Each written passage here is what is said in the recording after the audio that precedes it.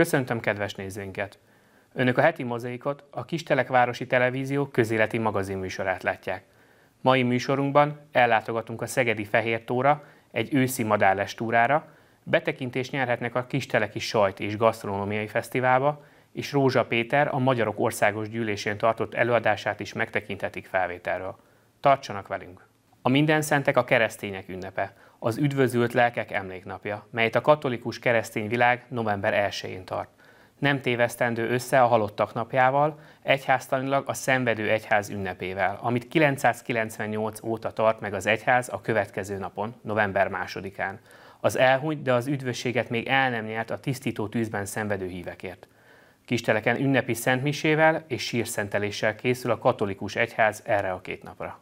November 1-én minden szenteket ünnepeljük a katolikus egyházban is. Mit kell tudni erről a napról? Amikor az egyházról beszélünk, egy közösségről beszélünk, és ebben a közösség, vagy ezt a közösség több részből áll.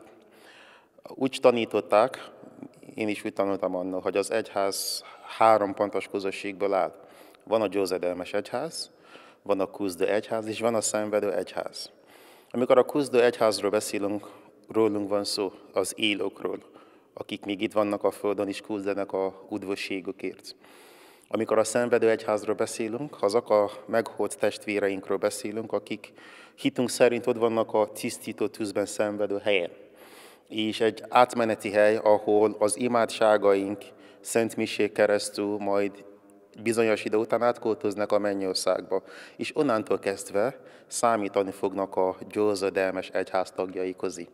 És amikor a győzedelmes egyházról beszélünk, a szentekről beszélünk, azok az emberek, azok az egyszerű, mindennapi emberek, akár egy kistelek himama, papa, tata, valaki, aki már meghalt, és hiszünk, hogy már túl van a tisztító tűzben szenvedő helyen, és ott van a mennyországban. Ezek a szentek.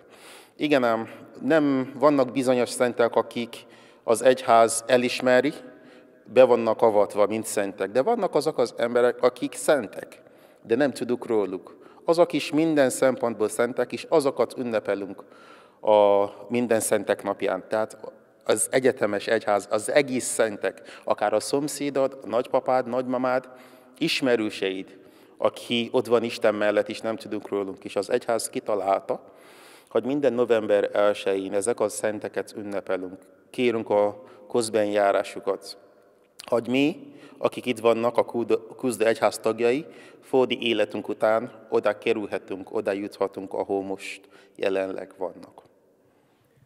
November másodikán pedig halottak napját ünnepelünk.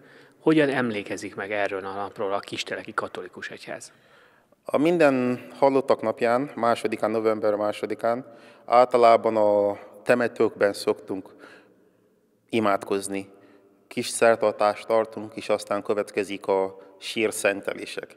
Az itt is fontos, hogy imádkozunk az elhunyt családtagjaink, testvéreink, barátaink, ismerőseinkért, mert igazából nem lehet bizonyítani, hogy éppenségben hol van a lelkük ha egy olyan emberről van szó, vagy olyan lélekről van szó, ami még utazóban van, mármint míg nem érkezett a végcél, a végállomásban, ami nem más, mint a mennyországban, szüksége van az imádságunkra.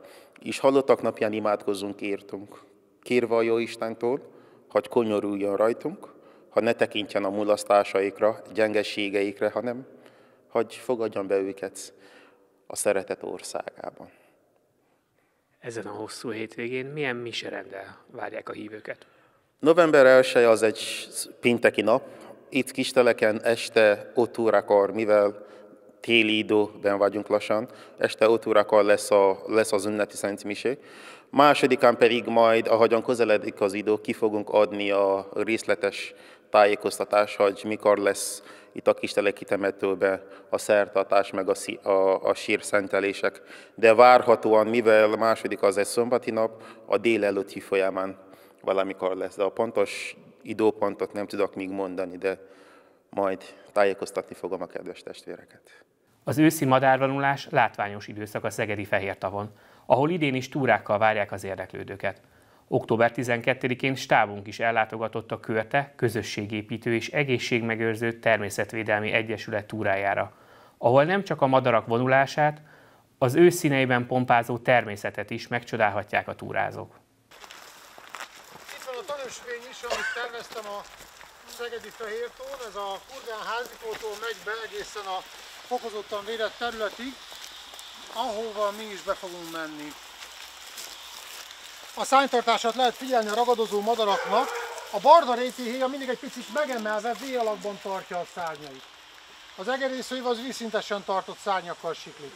Tehát, hogyha messze van a madár, mondjuk arra a nádas föld, fák fölött, csak a szánytartásból lehet sejteni, hogy itt a környékünkön egy ilyen középtermetű ragadozó, az inkább egerészőiv, hogyha vízszintesen tartott szárnyakkal siklik, és inkább héja, hogyha kicsit megemeli V alakban tartja a szárnyait, de nem csak ha fordul, hanem mindig így tartja.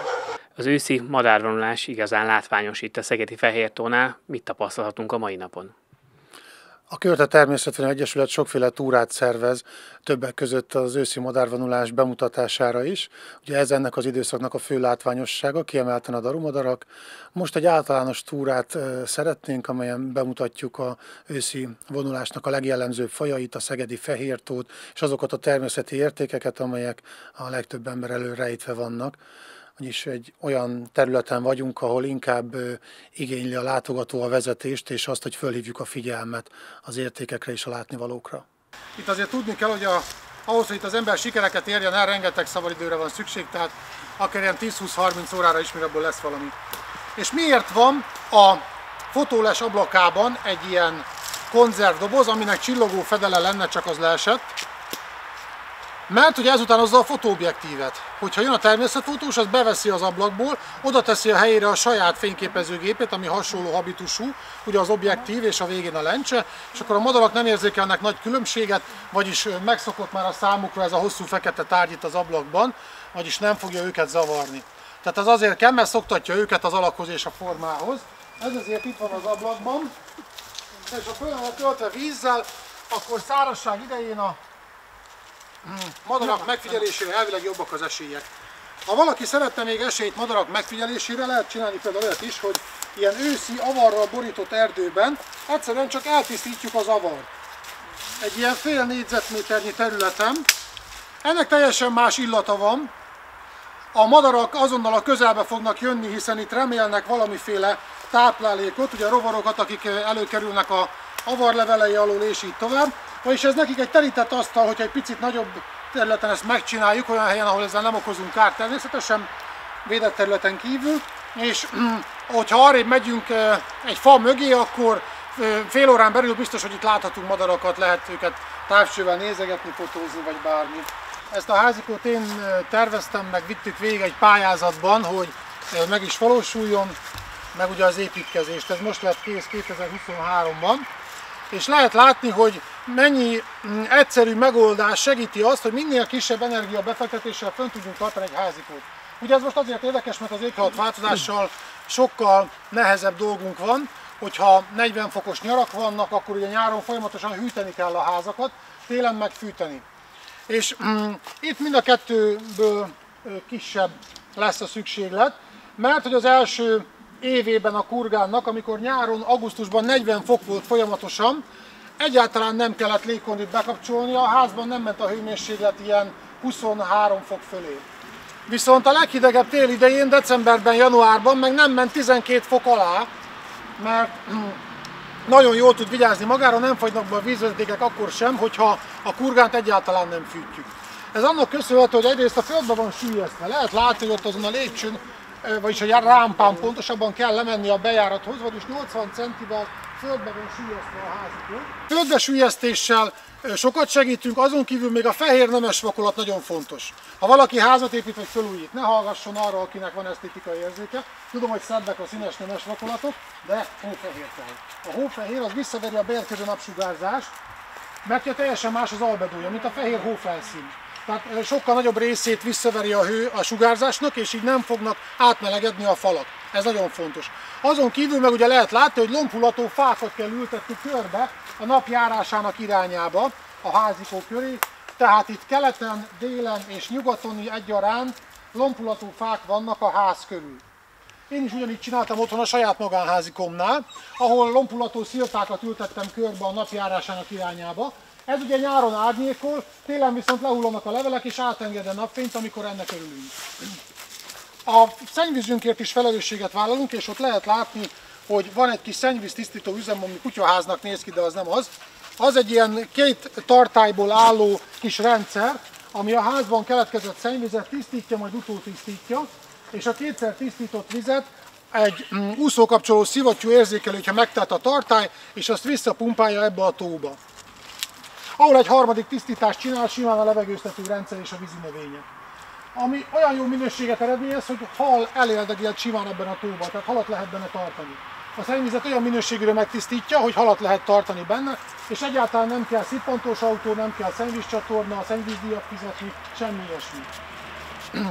Illetve, hogyha azon a rámpán, ahol lesétálunk a bejárathoz, lezódulna a csapadék, ami mostanában nem jellemző, de elméletben lehet ilyen, akkor ott is van egy vízgyűjtő tartály a bejárat előtti kívül, ami egy 100 literes tartály gyűjti magában az esővizet, és szintén egy automata úszókapcsoló szivattyú van, hogyha megtelne, akkor átnyomja a tóba az esővizet.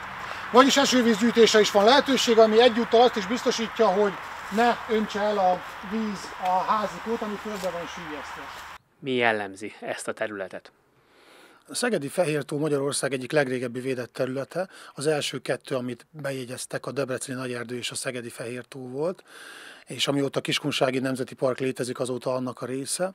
Van itt tanösvény is, illetve a kilátótoronyban vagyunk éppen, és egy olyan tórendszer, ahol a hazai madárvilágnak már akár a háromnegyed része előfordult, vagyis hosszú távon tekintve nagyon sokféle fajt láthatunk itt, köszönhetően annak, hogy nem csak az itt fészkelő madarak, hanem a vonulófajok is megfigyelhetők. Milyen madárfajokat figyelhetnek meg a látogatók a mai napon? Vonulás idején nagyon sok esélyünk van, különböző fajcsoportokból gázlómadarakat, ragadozókat is láthatunk. Már említettem ugye a darut, aki kiemelt látványossága lesz majd az őszi időszaknak, de az énekesek közül is előfordulhatnak még azok a fajok, akik az októberi időszakban is itt vannak. Meddig tart ez az időszak, amíg a madarak vonulnak? A daruvonulás egészen november végéig jellemzően, illetve az éghajlatváltozással most már általánossá vált az, hogy télen is itt marad a darvak egy része, vagyis több ezer madár esetleg áttelel nálunk, vagyis a vonulás állomás helyéből telelőhely lettünk. Itt túrákat vezetünk folyamatosan, még decemberben is lesznek rendhagyó darulesek, akár még az év végén szilveszterkor is. Mik a tapasztalatok? Mennyire népszerűek ezek a túrák?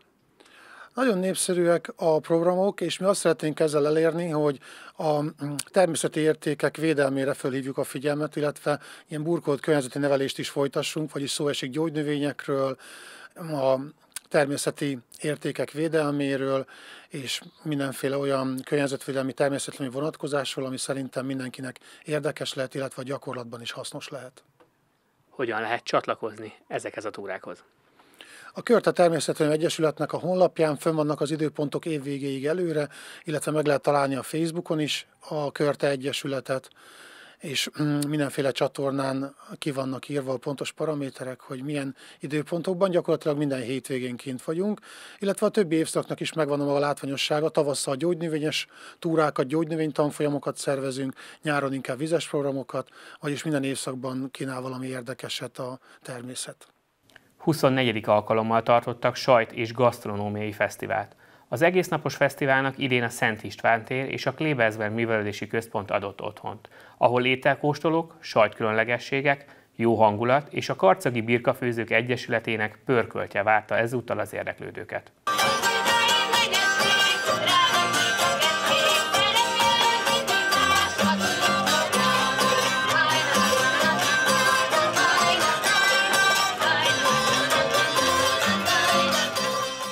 Nem csak a környező településekről, hanem Karcagról is érkeztek ide. Mi készül önöknél? Jó napot kívánok! Karcagról érkeztünk a Karcagi Birkafőző Egyesülettől. Birka pörköltet főzünk nyilván a nevünk szerint is. Főzünk egy tésztaételt, amit nálunk úgy hívnak, hogy galaburgi. Mit kell tudni erről a kuriózumról? Hát kuriózum, ez egy tájétel, ez egy paraszti étel, e, gyakorlatilag lebenstészta, e, krumpli, e, egy kis e, paprika, paradicsom, és a végén pedig egy tojás, tojást ütünk rá. Kicsit visszatérve a birka pörköltre, milyen fűszerezése van? Van-e valami jellegzetessége annak? egy másodperc csak meg kell kavarnom, hogy ez ehető legyen. A legnagyobb, a legnagyobb egyszerűséggel főzzük a birkapörköltet karcagon, nem használunk hozzá csak hagymát, fokhagymát, paprikát, tört paprikát és hegyes erős paprikát. És só természetesen. Hogy érzik magukat ezen a rendezvényen itt Kisteleken? Jártak itt már korábban? Nem jártunk itt korábban, de érezzük a, a, a vendégszeretetet, nagyon kedvesek az emberek. Egyelőre azt sem tudom, hogy, hogy, hogy nem tudunk ellentmondani senkinek sem, mert olyan, olyan kedvesen kínálnak minket, hogy az, az valami csoda. Hány fővel érkeztek ide Kistelekre a mai rendezvényre? Ketten jöttünk a kollégámmal, aki most éppen ott hátul áll, ő főzi a birkát, én főzöm a, a, a slambucot. Ö, általában az Egyesületünknek az életébe ezért bevett szokás, hogy általában egy ilyen rendezvényre két, két ember szokott jönni. Mennyi előkészülettel jár, hogy ez a kis, ez a kis étel itt létre tudjon ma délelőtt jönni? Ezt nagyon örülök, hogy megkérdezte, mert ugye mindenki azt, azt hiszi, hogy a, főzés csak abból áll, hogy kijövünk és akkor kavargatjuk az ételt.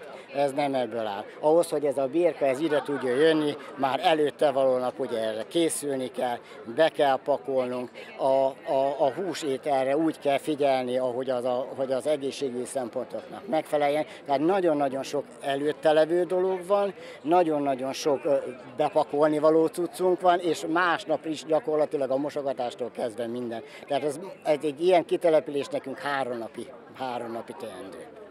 Milyen várakozásaik vannak az készülő ételt illetőleg? Már hogy finom lesz, vagy nem? Hát az ember maga biztos magába. Azt szoktam mondani egyébként, hogy hát ugye ez a, ez a birka étel, most úgy számolunk, hogy körülbelül ilyen 80-90 embernek meg tudjuk mutatni azt, hogy milyen egy karcagi birka. Na most, aki, aki nekiáll egy ilyennek főzni, az kellő magabiztossággal kell rendelkezni, hogy ez a 80-90 embernek oda tudja adni, és azt mondja, ezt én főztem, mondjanak róla véleményt. Tehát ez nem olyan, mint egy zsíros kenyér, hogy elsóztuk és kidobjuk, itt azért magabiztosabb főzőkre van szükség. A Nanda falva hindu templom is kitelepült ide Kistelek főterére. Mit kell tudni, mivel érkeztek önök? Hát hoztunk egy-két finomságot, amit itt a hölgyek készítettek de szerintem a, a, a, a részletekről kérdezzétek a hölgyeket, akik csinálták. De egyébként két sós, meg két édes e, étellel készültünk, és hát ahogy látjátok, minden elfogyott, úgyhogy nagy sikere volt. Sütemények ezek? Mit kell ezekről tudni? Igen, hát a, az, az egyik sós, az most nem tudjuk megmutatni, mert már elfogyott, az egy zöldséges batyú volt. Ezek mind indiai klasszikus ételek.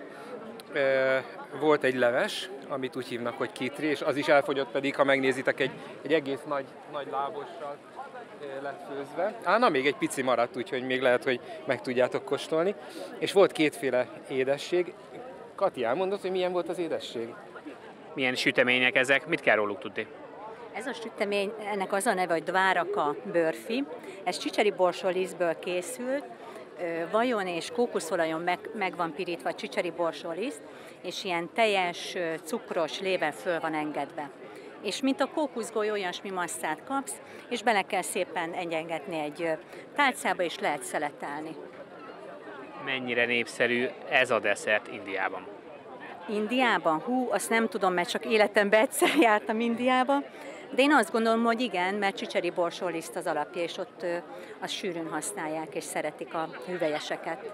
Úgyhogy gondolom, hogy ismerős és szeretik. Van itt mellette még egy nagyon látványos desszert. Erről mit kell, hogy tudjunk? Aha, hát ezt nem én készítettem, visszaadom neked, Zoli. Ez az egyik legkedveltebb, legkedveltebb indiai édesség a halava, ami vajban meg ö, ö, van párolva a búzadara, és utána cukros vízzel össze van öntve, és még gyümölcsöt szoktak belerakni, és hát egy ilyen, ilyen formázható édesség válik belőle, ami nagyon népszerű. Egyébként annyit még érdemes megemlíteni, hogy hogy az indiai kultúra az nem csak a, a, ugye az érdekes történelméről, vagy India, maga az indiai, India mint ország, nem csak a, az érdekes történelméről híres, és a, a különböző kulturális ágakról, mint a zene meg a tánc, hanem a, a gasztronómiáról is nagyon híres, és ha az ember utazik nyugaton, akkor, akkor minden országban rengeteg indiai éttermet talált, tehát hasonlóképpen, mint az olasz, olasz konyha, hogy mindenütt van pizzéria, hát indiai éttermet is mindenütt találni, nem is, nem is keveset. Egyébként Szegeden is van legalább kettő érdekes módon, de Budapest meg tele van vele. És hát ez is azt mutatja, hogy az emberek szeretik az indiai konyhát, és nagyon népszerű, és, és tényleg hát én is jártam Indiába, és voltunk étterembe, és hát fantasztikus, fantasztikus kultúrája van a főzésnek. Mit tapasztalt Indiában? Mennyivel másabb az indiai konyha, mint a magyar? Hát egész más. Nagyon nehéz, nagyon nehéz egy lapon említeni, ha bár hát alapjában minden konyha ugyanaz. Az emberek megfőzik az ételt, meg megsütik, de például amiben nagy különbség van, az a fűszereknek a kezelése. Eleve a magyar konyhában eh, hát mit használunk? Sót, borsot, eh, köménymagot, eh, mit még? Paprikát. Paprikát, igen, de ezeket, főleg ezeket használják a magyar konyhába. Hát Indiában rengeteg fűszert használnak, és nagyon változatos módon tudják használni őket, és ami érdekes, hogy a, van egy olyan módszerük, amivel még jobban ki tudják hozni a, a fűszereknek az ízét, és ezt kétféleképpen érik el, vagy úgy, hogy, hogy valami zsiradékban meg párolják, megpirítják, és ettől, ettől az aromája igazán ki tud jönni és ezt kétféleképpen helyezik be az ételbe. Az egyik az, hogy, hogy először a fűszert megpirítják, és utána ráöntik a zöldségeket, vagy pedig egy külön kis edénybe megpirítják a, a, a, a fűszereket, és utána hozzáöntik a megfőtt ételhez. Ez attól függ, hogy milyen ételt készítünk, hogy melyiket szokták alkalmazni. Tehát a fűszerkezeléseknek egy ilyen nagyon, nagyon gazdag kultúrája van Indiában már az indiai konyháról beszélünk, ezek a hozzávalók, ezek az alapanyagok mennyire népszerűek itthon? Hozzá lehet jutni? Nagyon érdekes, mert mondjuk tudom én, 30 évvel ezelőtt ezek, ezek beszerezhetetlenek voltak. Ma már az Oceanbe vagy a Tesco-ba, nem tudom, lehet-e ilyen neveket mondani itt a tévébe, e, vannak ilyen uh, polcok, ahol a nemzetek konyhája található, minden, szinte minden megvásárolható az indiai ételekhez, de ha nem, akkor az ember bemegy egy bioboltba, vagy az egyre, ö, ö, egyre inkább nyíló indiai ö, boltokba. Itt Szegeden is van egy, egy indiai bolt, ahol elképesztő indiai ételeket lehet kapni, még mirelitárút is lehet kapni, ami Indiából jön. Tehát a globalizációnak van egy ilyen, egy ilyen, ilyen oldala is, hogy ezek a kultúrák, tehát összezsugorodik a föld, és ezek a kultúrák elérhetővé válnak egymás számára.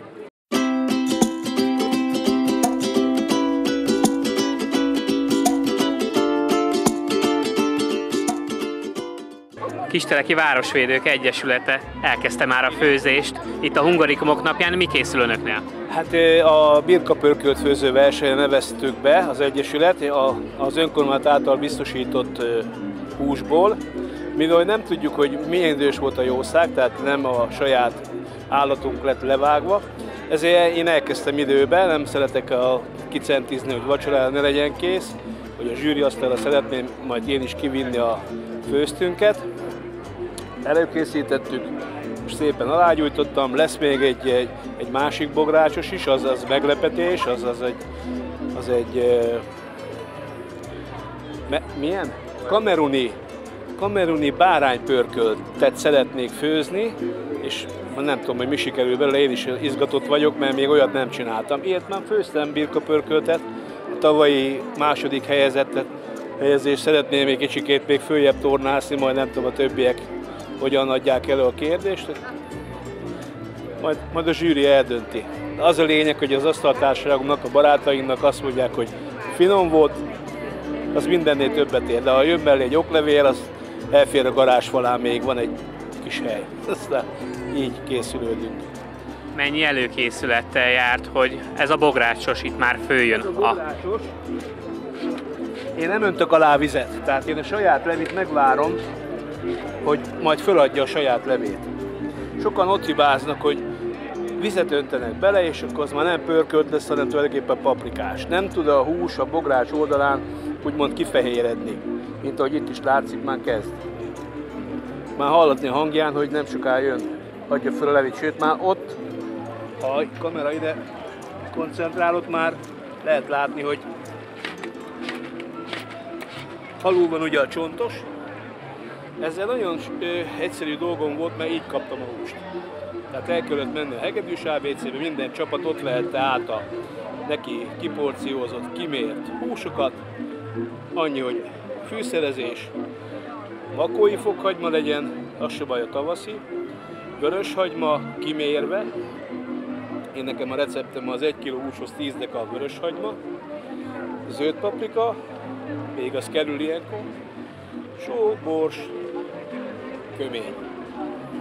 Ennyi a, ez, ez én receptem, a titkos receptem.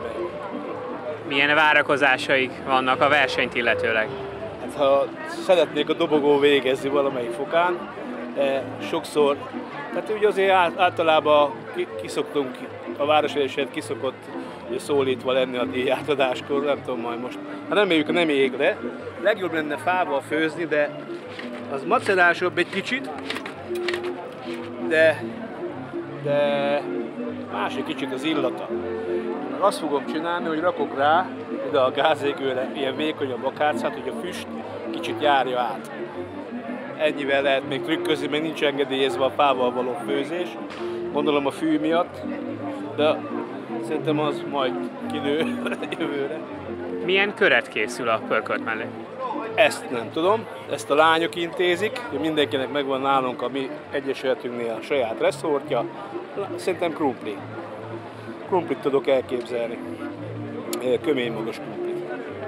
Meg egy kis savanyúság, vegyes savany. Ja igen, azt tudom, mert az egyik kollégánk fölajánlotta a vegyes savus, Rozsnyi Erzsike majd ő azt fogja hozni.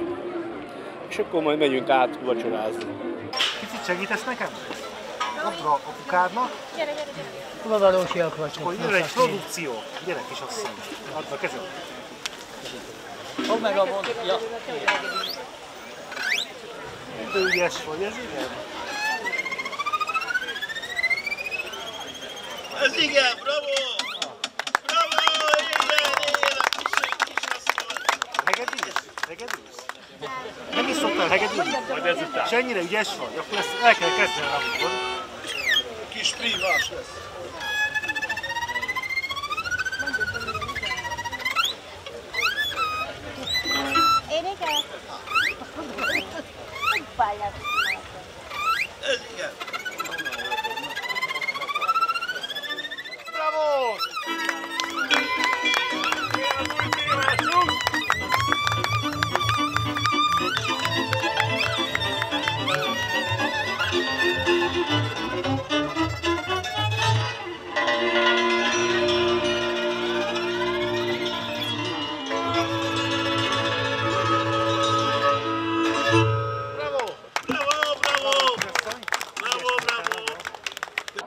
A Kisteleki Sajgyár állandó résztvevője, szereplője a fesztiválnak. Idén mivel készültek?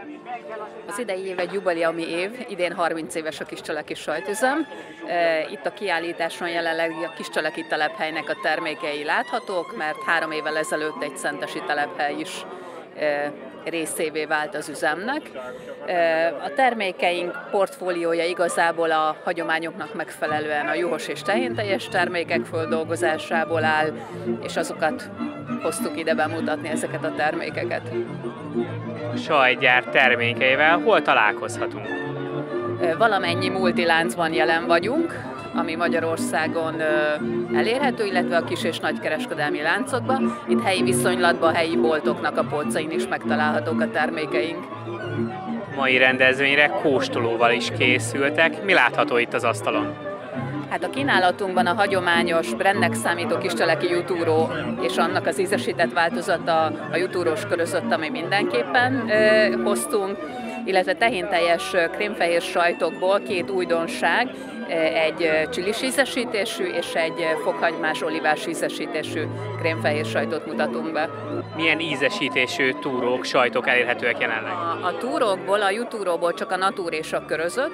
Az ömlesztett sajt változatainkban van ugye natúr, csipős paprikás, metélőhagymás és pulykasonkás termékek.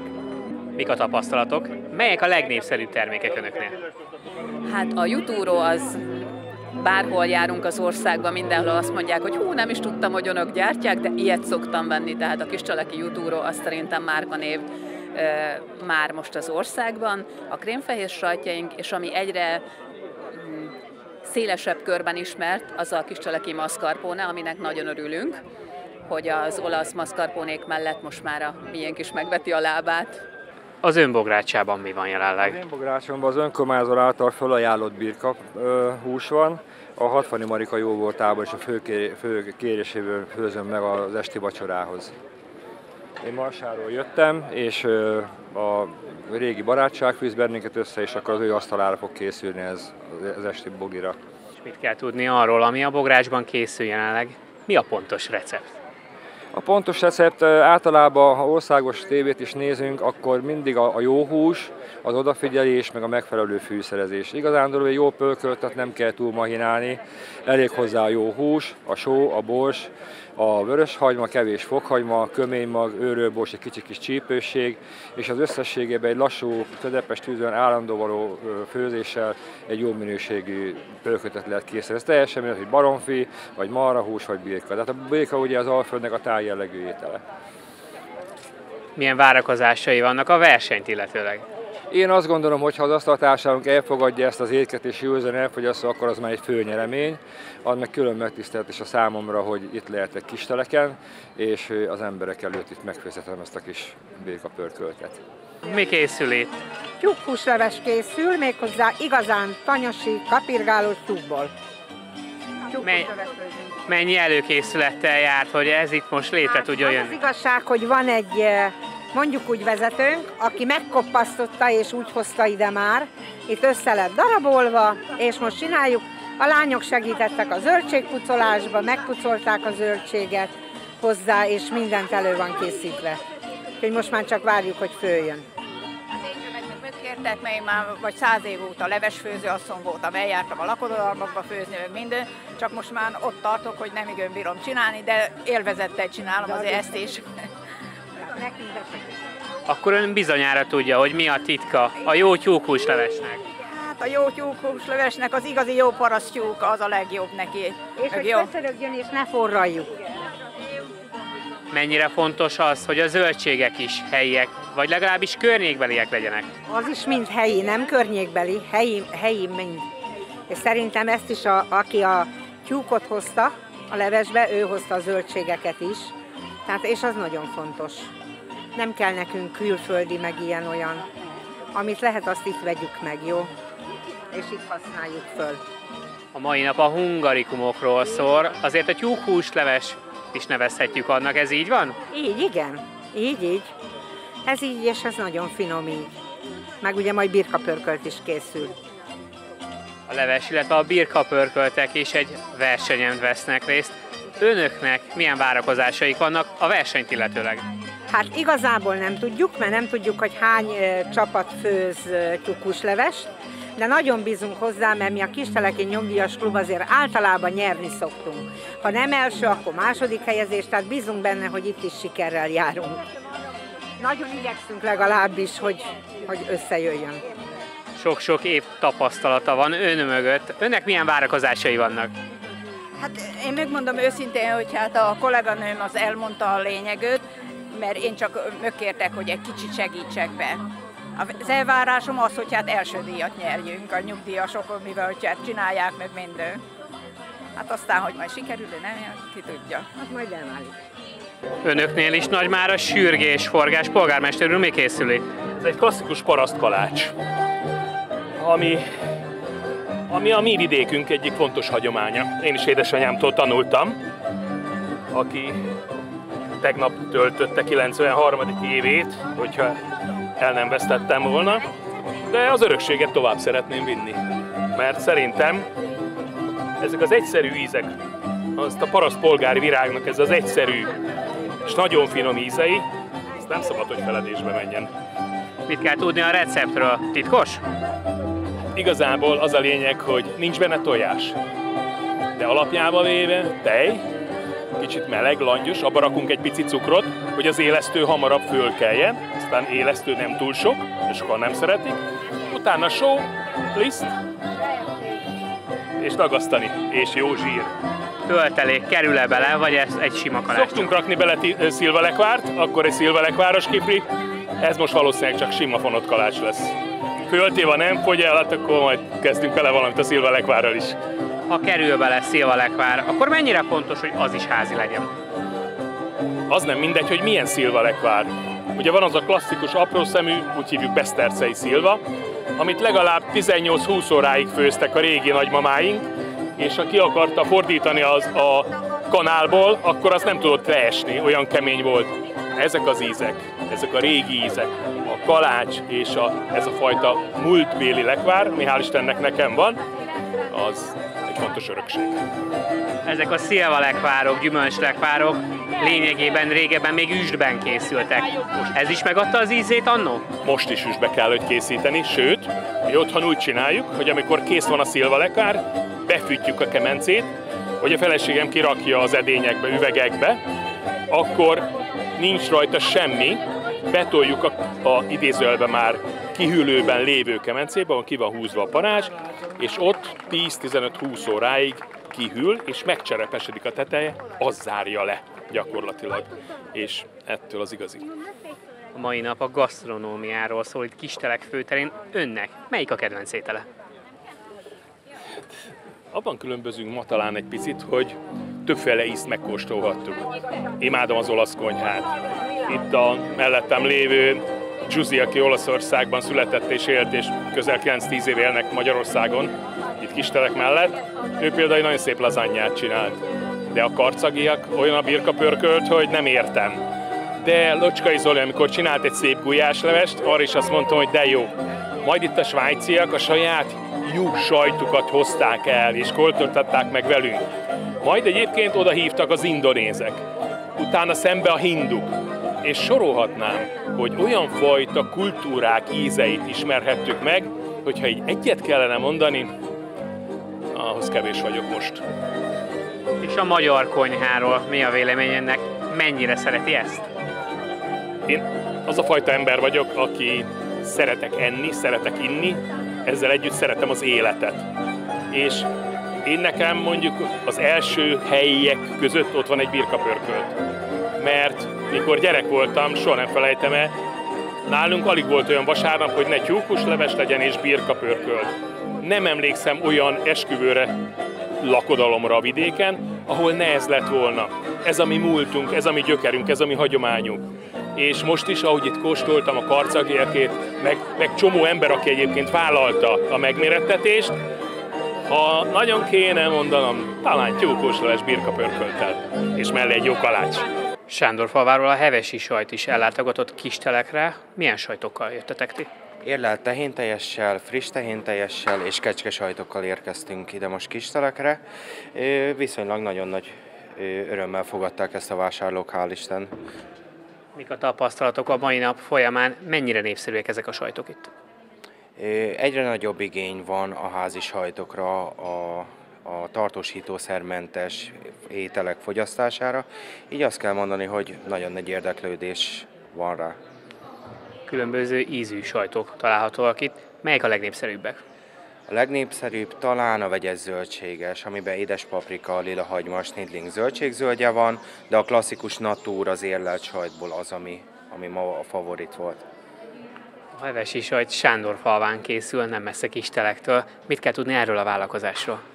Hát nem vállalkozás ez, mi csak őstermelők vagyunk. Igazából 25 éve foglalkozunk körülbelül ezzel. Szegeden a Mastéren is árulunk, meg ide Kistelekre is el szoktunk mindig jönni. Igazából ez egy családi biznisz, nincs alkalmazott, csak mi családba csináljuk az egészet. Mik a tapasztalatok? Hogyan változik egyébként a fogyasztói szokás?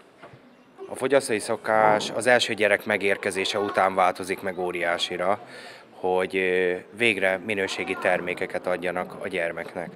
És akkor érződik ki legjobban, és utána rászokik az egész család. A nagyszülők már ezt ismerik, ezeket az ízeket, és utána ezt a gyerekekbe, a unokáknak is megmutatják. Sokan várták már a karcaki birkapörköltnek az elkészülését. Önnek hogy ízlik? Finom, nagyon. Miben másabb ez, mint a helyi birkapörkölt? Hát nem tudom, mert nem sokat eszünk, mert inkább a marha a fő nálunk, nem Nem sokat szoktunk főzni birkapörkölt, tehát csak esetleg ilyenbe eljutunk. Akkor a mai nap egy ünnepnap, ezt elmondhatjuk. Igen. Csólyosba jártunk, ott 15 bográccsal főztek, ott is nagyon finom birkát tettünk, és ez is ez finom, ez is finom, úgyhogy elég csontos, de a birka milyen lehet?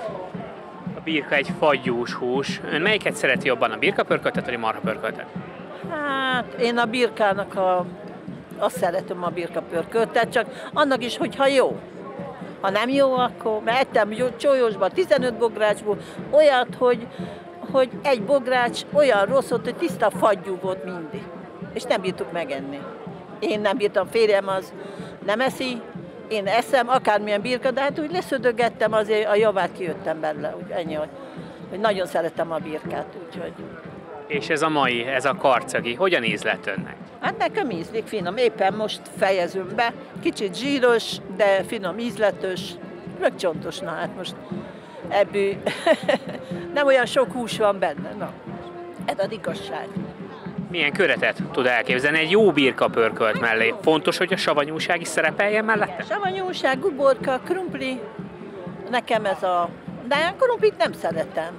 Ezt jobban szeretem teljesen natur, a, akármilyen hús lehet, az krumpli nélkül, meg tészta nélkül. Sok jó finom húsi. Úgyhogy nekem ez a jó. Idén már 24. alkalommal rendezték meg Kisteleken a Sajt és Gasztronómiai Fesztivált. Mit kell tudni a mai eseményről? Délelőtt a gyermekprogramoké volt a főszerep itt a művelődési házban és termeiben. Ezzel párhuzamosan itt a hívhatom így a főutcán, ami erre a délelőtre Ízek utcájává alakult át.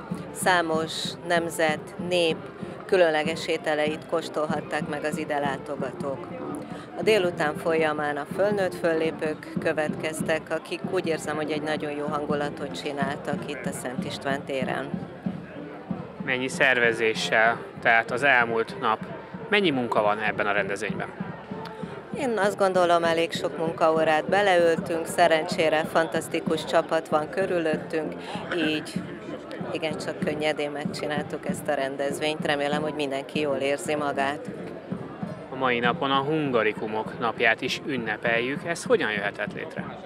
Egy pályázati forrás nyert Kistelekváros önkormányzata, így aztán egy kicsit hangsúlyosabban tudtak megjelenni a magyar népi ételek, amik már hungarikummá vannak minősítve. Karcagról egy igazi birkafőző csapat érkezett, illetve hát a délután folyamán azért a kisteleki és környéki birkafőzők is megmutathatják tudományukat, úgyhogy nagyon finom birkapörkölt illat terjeng éppen itt a téren. Nyilván a karcagi birka pörkölt mellett a többi hungarokomat is igyekeztünk megjeleníteni, például magyaros gulyás leves főt, éppen valahol itt mögöttem, és hogy milyen ízletes volt, az valószínűleg abból is látszik, hogy hosszú sor kígyózott az önkormányzati sátor előtt. Kínáltunk tovább a Rákóczi túrost, amely megint csak egy hungarikum. Én úgy láttam, hogy polgármester úr pálinkája is nagyon nagy népszerűségnek örvendett, ami egy szőlőpálinka volt tölgyfa hordóban. Mai délután a versenyzésről is szól, ugyanis főzőverseny van már itt a háttérben is. Hány csapat nevezett erre a versenyre? 13 csapat nevezett a birkafőző versenyre, és 5 csapat tyúkhúsleves főző versenyre. Ez utóbbit először rendeztük meg az idén. Mik a tapasztalatok? Milyen népszerűsége, mekkora népszerűsége van ennek a mai napnak? Én úgy látom, hogy nagyon sok ember érkezett, nagyon jók a visszajelzések, hogy pörgős, jó hangulatú napunk van. Én úgy ítélem meg, hogy nagyon jól sikerült ez a rendezvény, ha szabad ilyet mondani szervezőként. És kicsit a jövőt illetőleg milyen tervei vannak a jövővel kapcsolatban? Hát szeretnénk ezt a Gastrofesztivált még inkább kibővíteni. Mi nagyon szerettük volna, hogyha a környező települések is megjelennek ezen a rendezvényen. Jövőre több energiát fogunk fordítani a beszervezésükre, illetve szeretnénk, ha még több birka és csúkos leves főző jelentkezne.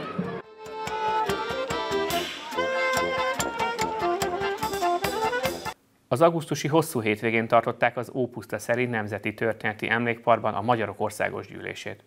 A négy napos rendezvényen stábunk a vidéki sátor eladásaiból válogatott. Az ország legnagyobb biogazdasága minden bizonyal a virágos kúti, amit Rózsa Péter hozott létre a semmiből. A 700 hektáros gazdaságban lovak, szürke marhák, bivajok, szamarak legelnek a Hortobágyi pusztán, mindemellett saját feldolgozó üzem vágóhíd is segít a több mint 500 féle termék előállításában. A Virágos Kúti Birodalom létrehozásának kezdeteiről beszélt a gazda a Magyarok Országos Gyűlésén. Őt sem kell szerintem bemutatni, de azért bemutatom Rózsa. És utána mindent elmesél maga, mivel Szerintem ilyen gazdaságot a környéken nem nagyon látunk, amit ő kialakított, lássuk, hogy az. Igen, mert most ebédkor mondtam, hogy legalább egy kicsit közelíthetnénk, hogy miről is kell beszéljek. Az úgy van, hogy tennap Balog Péter, nem látom most itt, tennap avattuk láncsa férfivá, és azt mondta, megnézte, hogy kik vannak ebbe a társaságba, és utána ugye el is kell fogadni, ugye Szent István alapított ezt a díjat, Kovács Gyula is tagja többek között, akik itt vannak. Én is megnéztem, hogy kik adtak eladást.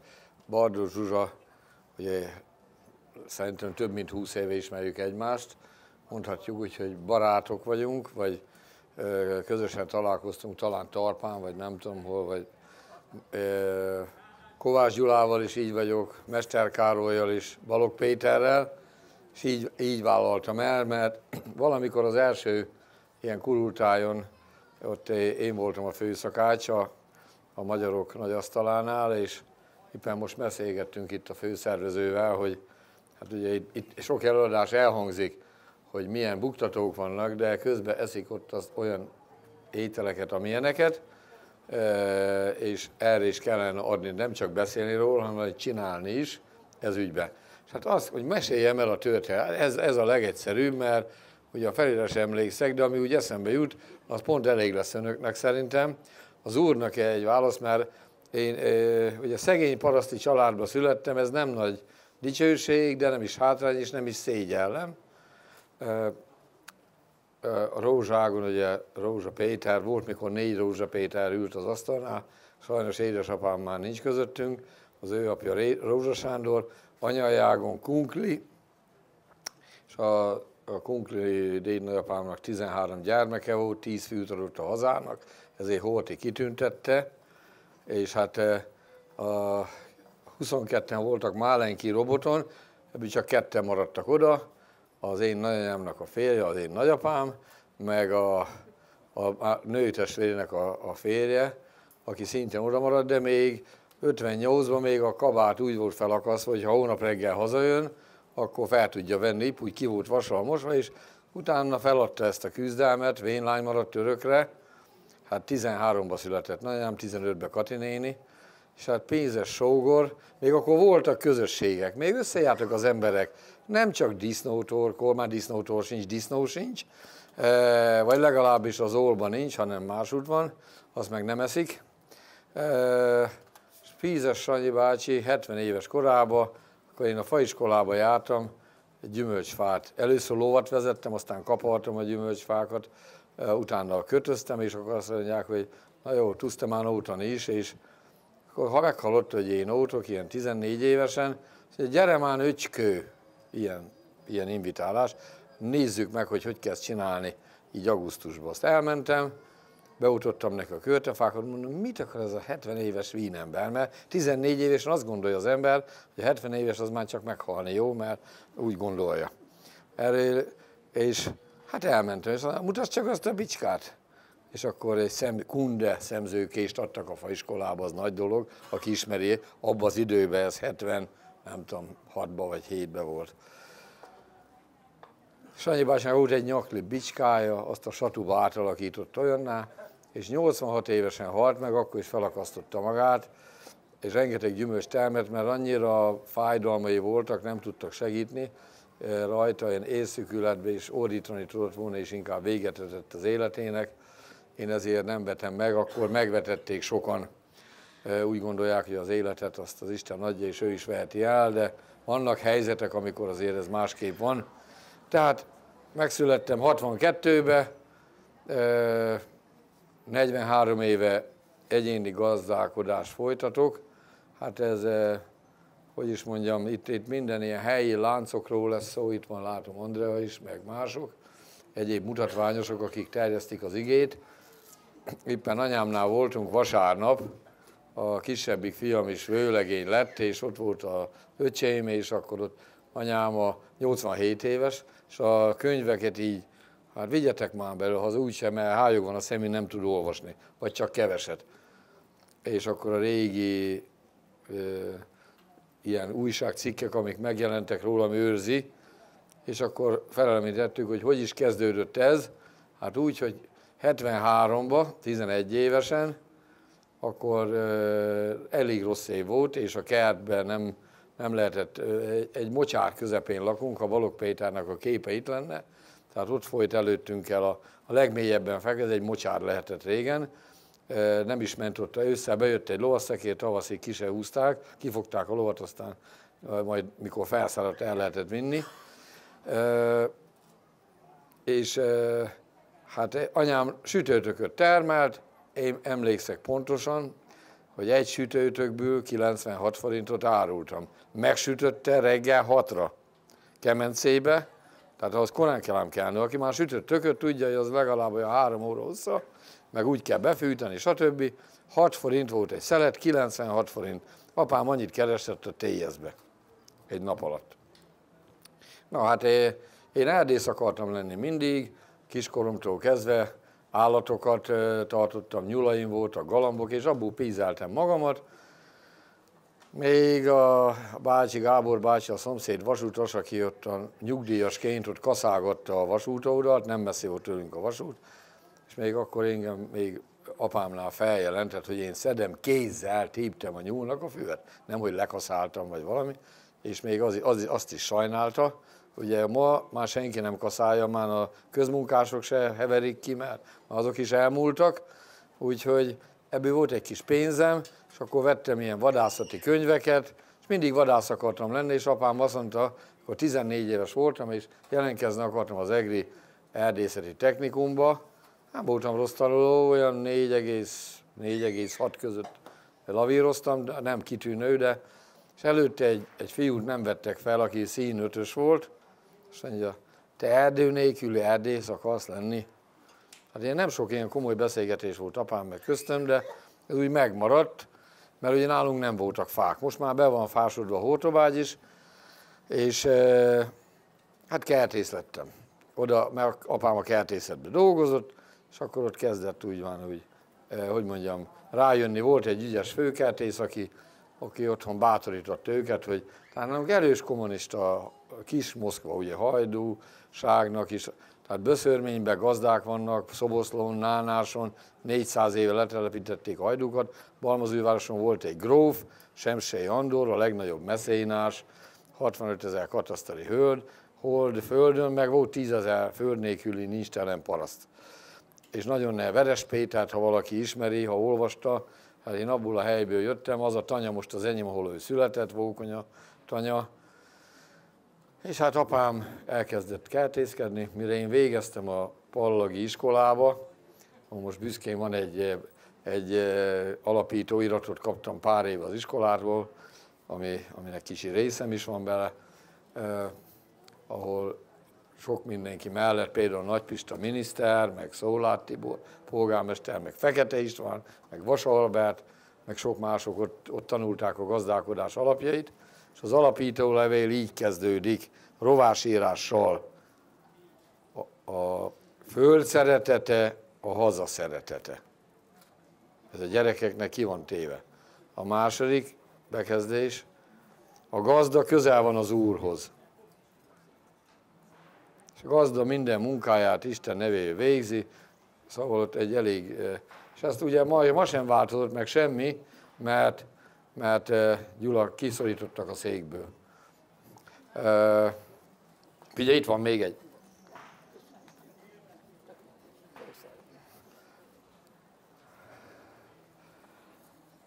Szóval apám kertészkedett, és az volt a divat a TSZ-ben, hogy a, kapálásért kaptak 5 forintot, a paprikaszedés, meg uborkaszedés az meg úgy értéken volt fizetve, de mikor jött az őszi fagy, és pitamin paprikát termeltek, akkor aki bírja marja, a, kiadta a, kertészeti igazgató, hogy aki leszette, szedje a többiét is, nehogy lefagyjon. Apám meg egyedül volt, azt évek alatt mindig, mindig pórul járt, mert nem keresett, és úgy egyre, hogy mondjam, ilyen levelezelő téjesztag lett, ezt nem nagyon díjazták abba az időbe, hogy otthon csinálta a kis fóliáját már, de csak kicsikét, mint ide a sátor vége, retket termelt benne, és hordta a piacra, szóval fegyelmével elküldték, és akkor elment az építő brigádba, ilyen raktár munkás lett belőle.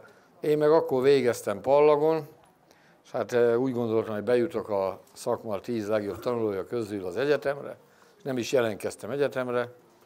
Eh, apámnak volt egy mondása, hogy a tudás az hatalom, és a tudást azt soha nem vehetik el tőletek. Tehát így Gyula is beszélt erről, tényleges tudásról beszélek, nem az, hogy 15 féle diplomája van valakinek, meg még 30 évesen még ezt is elvégezzük, ahelyett, hogy gyereket csinálna, vagy valami gyümölcsfát ültetne, meg nyulakat, megeszi a nyúl a fáját, hát, hát addig mi csinált? Ludast olvasott, vagy a fürdőbe volt. Hát igen, a nyulat meg lehet enni, el, ha még nem tudta volna, megfogni nehéz, de én nekem is sokkal csinálnak a nyulak, meg a vadak, de például bekerítettem Gyula tanácsára ilyen csibedróttal, és akkor a bamba, aki kaszálja el a damilosra, az se picálja el a, a tövit, meg a nyulak se eszik még még kicsi. Na szóval én végül bejött az iskolaigazgató behívatott, dísznövényből én 2000 növényt tudtam úgy latinul magyarul, vadnövényeket is, meg Pallagon, Debrecen, nem tudom, van itt valaki Debreceni, vagy aki ismeri a Debreceni nagyerdőt, gyönyörű, hát ma is szép még, 150 éves fákkal, és hát futottunk be a biogálig, ma tevának hívják, és akkor hát én futni szerettem, úgy voltam, mint Balca, időm volt, hát miért ne fussak, elég jól is ment, vonathoz minden nap szaladni kellett, mert 5 óra 15-kor kelni kellett, hogy fél hatra kiérjünk az állomásra, és általában vonathoz szaladtunk, és jó futó versenyekre is jártam, és közben az erdőbe futkározva megismertem a fákat. Gyönyörű kertje van ennek a, ennek a Pallag iskolának, még egyszer egy okos, az ki nem vágta nagy részét, felújítás címén, ezek százados fák, és szebbnél szebbek, e, nem csak platánok, olyan nyárfák voltak, mint ez az asztal, ilyen két méter átmérőjű volt a tuskója. És levágták, és azon az osztály 33-an voltunk, két nyárfa volt az iskolán, ott meg tudtunk ülni. És hát kiküldtek bennünket, hogy szedjünk növényeket, és akkor latinul, magyarul meg kellett határozni.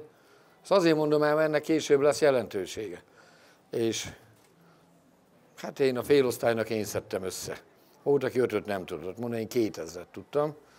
És akkor az volt a szokás, még akkor az iskolában fegyelem volt. Osztály vigyáz, takarjunk kérem, maga ott hátul kicsit beljebb, és akkor a Tájkman Gerta volt az, a biológia tanárnő, Tájkman Vilmos, talán emlékezzik valakit, ha bár túl fiatalok, burgonya nemesítő volt, Kisvárdai Rózsa, Gülbaba az ő nevehez fűződik, ezeket ma is kezdik ugye felkapni, hogy mi, ezeknek volt rendes krumpli íze, nem ilyen modellnek voltak, és volt négy ötösöm nekem biológiából, és ahhoz a dőat, hogy fel kell állni, hogy na a kisfiam hanyas szeretné, hát akinek volt két négyese, két ötöse, akkor megelégedett négyese, akkor jó. Ha ötöst akartak, mondjuk feleltették, hogy valamit tud, kémia tanárnő az még rosszabb volt, mert sorba álltak, aki kettesért felelt, aki a hármasért, aki a négyesért, ötösért, ötösért egyedül voltam, és akkor aki nem tudta kettes, az ötösnek mindet tudni kellett. Jó kis módszerek ezek, tehát eh, én azt gondolom, hogy nem volt kec, mert ki kell találni, és ki volt írva a táblára, nekem a csárdában most is ki van írva, a tanuló ne gondolatokat, hanem gondolkodni tanuljon meg. És akkor elbombultunk, fel kell állni, és hangosan fel kell olvasni. Na ez a Tájkman Gerte is, visszatérek a biológia tanárja, kihívta, felálltam, hát mit mondjak négy-ötös, anyas szeretnék, hát ötös. Hozza ide a füzetét, kivittem, hát tudta, hogy milyen a füzetem, nagyon csúnya az írásom, tehát mint ez kiderült, már azóta egy pár grafológus megnézte, hogy nincs velem semmi baj, mert nagyon jó bánok egy csomó mindennel, de én neve nem voltam tisztában, így megfogta a füzetet, így, mint mondjuk ez a füzet itt lenne, és így így hanyította vissza. Maga, ötöst, ilyen füzetre?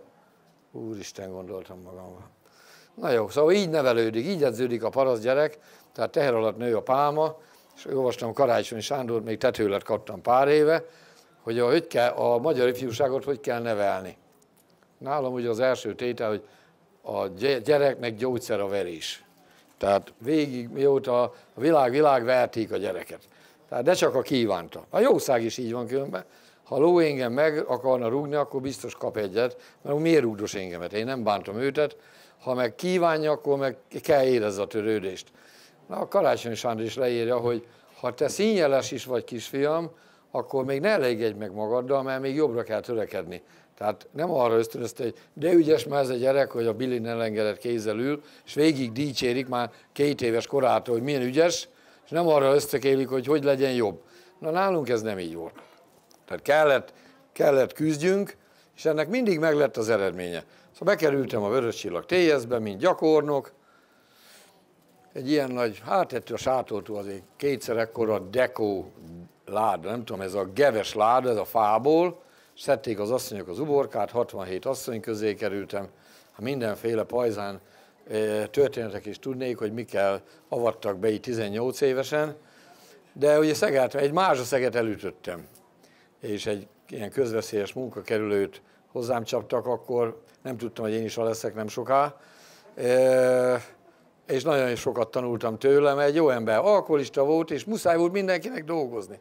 Ezt azért mondom el, mert nem úgy van most, hogy hát ha hülye is, meg lusta is, akkor közmunkán elfetreng az árokparton, ha jó kapcsolat van, akkor a könyvtárba, hogy ne fázom meg, vagy valamilyen ilyen közmunkán, akkor muszáj volt dolgozni, és beosztották, és se, sehol nem fogadták.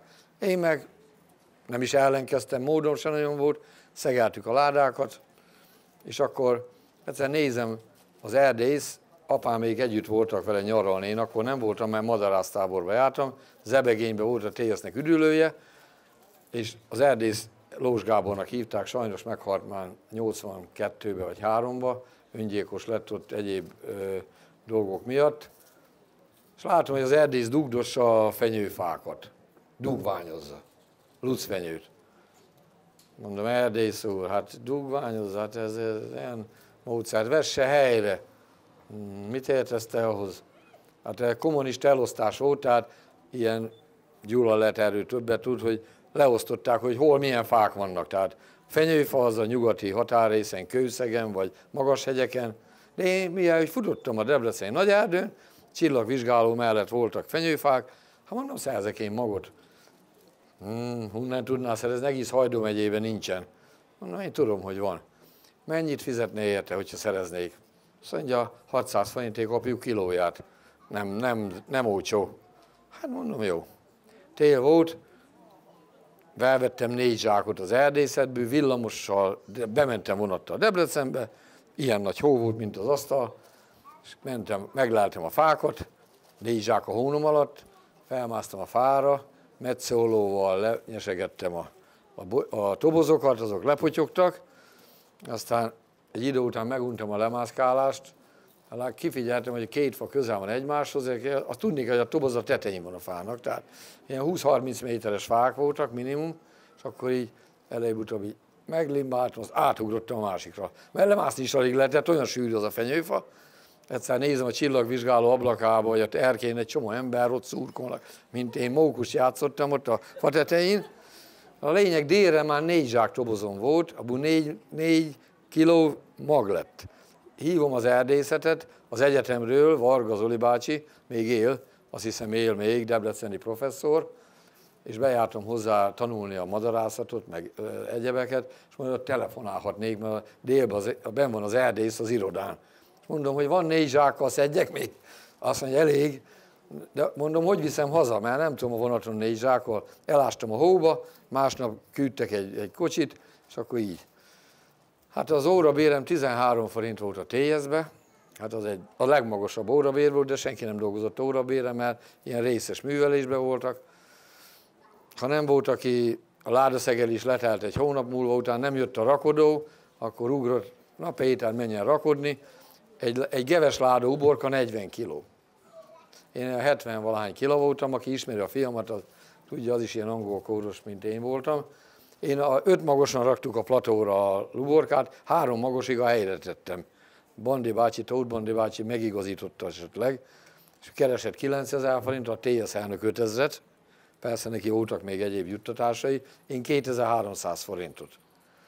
Azt is kibírtam. Itt valaki mondta, hogy valaki jönne hozzám dolgozni, de nem kemény vagyok az emberekhez. Á, nem vagyok kemény, lágy vagyok. Én ahhoz képest, hogy minden, mikor még fotbalozni jártam hegyesre, és akkor azt mondja a főnök, hogy figyelj Péter, este jön majd a, az IFA, és viszik az uborkát a konzervgyárba, majd át kell adni, az is hozzátartozik a gyakorlathoz. Tehát apám fegyelmel ment el, tehát engem szivattak mindennel, amivel csak lehetett, de úgy bírtam a gyűrődést. Bejött az ifa így, mintha ide besenderedne, százzal jött volna, akkor százzal jött volna, és ha így lát, hogy akkor a porfelhőből egyszer kiszállt a sofőr, na, kirakja fel az uborkát. Mondom, nem hozott rakodót? Miért? Nincs rakodó? Akkor még 150 más uborkát felpattintottam a platóra, így levezetésképpen, azt nem kaptam érte egy vasat sem, mert az a munkához tartozik, de nagy szerencsémre egy év múlva felszámolták a kertészetet, mert veszteséges üzletág volt. Sok, tudnék sokat mesélni erről, de most ilyen lelkesítő beszédre van szükség, eljutunk majd máshol is. Voltak szerencséim, például kiküldtek, tehát ez a, ez a fenyőtoboz, ez kiválta a biztosítékot ott a pártitkárnál, meg a télszelnöknél, hogy mi az, hogy egy gyerek 2400 forint keres egy egynapi munkával, és akkor kiküldtek nyolc asszonyt vadkörtét szedni. Mert a, TSN, vagy a erdésznek az volt az álma, hogy faiskolát csinál, meg, meg fagyalt ültet kosárfonásra, meg seprűkészítésre, és vadkörtét. Szerette a pálinkát, és azért mondja, a vadkörtében nem csak mag van, hanem a húsa is.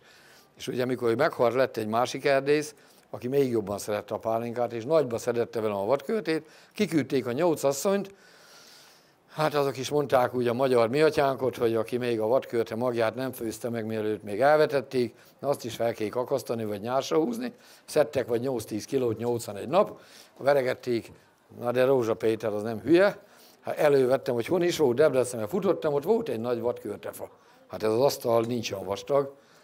Hát Simpson motor, már akkor volt Simpson motor 82-be. Bementem, három helyen tudtam vadkörtét, egyiken volt csak termés, de ilyen 20 centi vastagon a földön. 10-15 mázsa, nem tudom mennyi. Aki már látott vadkörtét, az vagy terem, de nagy fákról beszélek. Hát akkor felszettem, üzenek az erdésznek, hogy küldjön valami pótkocsit, mert micsoda? Hát mondom, mennyit szedhetek? Hát amennyit BS gondolta, ezek szedtek 88 kilót, hát én is majd szedek valamennyit lehet annyi vadkörte, az egész Hortobágy teli van vadkörté, azt minden szedtem 81-ben, meg 82-ben. Most a nemzeti parkosoknak még ezt nem mondtam, de mert a vadkörte az egy életképes növény. Tehát ahol megeszi a madárot, leesik, nagy magvú, és az ott kikél, mikor alkalmas neki, hogy Gyula mondta, gyökeret eresztés. Hát be is oltottam őket, de a nemzeti parkosok kiirtatták, aztán most már nem is kínlódok ott vele. Nem, most még Gyulát se ismertem akkor, még egy csángó is ótott nekem, szegény Tankó Pista, az is megtanulta az ótás, hogy legyen ott nekünk gyümölcsünk. Na szóval én ebből a gyümölcsészetből, meg vetőmag, vagy bocsánat, vetőmag kereskedelemből úgy belejöttem, hogy 230 ezer forintot árultam egy hónap alatt. Annyit kerestem. De elmentem szarvasra például, ezüstfenyőt, azt mondja, ezüstfenyőt nem tudnám mondom, mi az ára, Erdész úr? 30 ezer egy kiló. Hoppá, mondom. Hol vannak legszebb? Az öcsém oda járt szarvasra, olyan kék ezüstfenyők vannak. Az ezüstfenyőnek van egy másik baja, a lucfenyő az olyan gyantás, hogy úgy néztem ki, mint aki kutyát szopott, csak néztek rám a villamoson, hogy ki ez mondom, mi van rajtam? Nincs bekapcsolva slicem, vagy mindenki azt nem. Hát úgy néztem ki a gyantátom, mint az ördög, a, a ezüstfenyő meg szúr, mint az állat, aki már látott ilyet, tehát oda felmászni. Na úgy is leszettük a tobozt, az öcsém kollégista volt, bandi heverő benne, a toboz, mert haza is kell majd hozni valahogy. A meleg szobába kikeltek a, a ilyen tobozmó, én nem ismerem, hogy mi ez. A lényeg, a hernyók így vonultak a folyosón, majdnem kitértották a kollégiumból. Na, szóval azért ez is hozzátartozik, hogy amikor azt hiszi az ember, hogy a tudást, ha megszerzi, mindegy, bármilyen tudást, az előbb-utóbb kamatozni fog. Valahol. Azt nem tudjuk, hogy mikor, Na, 81 óta én maszek vagyok, mikor megosztott a kertészet, apámnak előadtam, hogy én maszek leszek. Hát apámnak titkos vágya volt, anyám majdnem belehalt, hogy nem egyetemre megyek, az öcsém már járt a főiskolára, de én nem bántam meg. És akkor évben dísznövényes kérdések, bejutottam az ország szakmai verseny, írni kell egy dolgozatot, és akkor a legjobbakat behívják, és akkor a legjobb tíz kap valamilyen díjat, és én dísznövényből jó voltam. Hát most már lassan elfelejtem őket, de még úgy elő szokott jönni. Megtanultam, egy millió virágpalántot neveltem, mikor virágomba voltam, muskártlé, petúnia, és mire más vetette a dinnyét, vagy a paprikát, addigra már nekem már a zsebbe volt a píz, mert az korán van. És télen is van munka. Mikor dolgozóim lettek, 90 körül, már nem egyedül dolgoztam, akkor volt télen mit csinálniuk. És egy fóliába télen nagyon jó dolgozni. Nyáron nem annyira, de télen jó, meleg van, nem ér a szél, eső sincs, és korán van bevétel belőle. Aztán ez is abba maradt, hát így, így mondva, 80-ban a Balmazújvárosi TS a Semség grófnak a szőlős kertjeit, amit a gróf kiosztotta 500 parcellát, azt újra parcellázták. És akkor a TS elnöknek, pártitkárnak, főagronomusnak, meg a hadkiegész parancsnoknak a kertjét műveltem. Dinnyét termeltem, meg káposztát benne. Zsuzsa mondja, mert neki elmeséltem egyszer, hogy szokták mondani, hogy milyen könnyű már neked. Rózsor magának könnyű abban az időben. Csak akkor milyen könnyű volt, volt egy metszóló, amit anyámtól kaptam, egy kunda metszóló érettségére, meg egy biciklit előtte. Ezzel indultam neki, de ez egy jó befektetés volt, mert a metszólóval rengeteg pénzt kerestem, mikor ez a szőlős kertekbe metszeni kellett. Hát és dinnyét termeltem benne, azt sem tudtam, mi fántelem a dinnye, de mikor még tököt árultam, ha visszapörgetik a, a, a, a 90-65-os tököt, kifigyeltem, hogy a piacon sorbának az emberek bizonyos portékákért. A bába asszony mellé bekérezkedtem Dáliával jövőre. Van egy ilyen könyv, hogy kertész legyen, ki boldogságra vágyik. Moldoványi Ákos, nem tudom, valaki ismeri ezt a könyvet. És aki gyorsan akar boldog lenni, az legyen Dália kertész, és az, nagy, az a hülye Dália is hozza a virágot, három bimbó, kettőt lecsípunk, az öreg asszonyok jártak a férjek után a temetőbe, vették minden héten, még, még fiatal gyerek voltam, jó pofa dolog egy ilyen embertől venni, aztán kifigyeltem, hogy hú, az öreg bölkény, az paradicsomot árul, azt a bulgár paradicsomot, bulgár kertész volt. Még nagyobb sor állt, annyi pénzt árult, hogy nem is fel se fogtam, hogy mennyit. Hmm. És egyszer csak jött a dinnye szezon, egyekről egy maszek hozott dinnyét.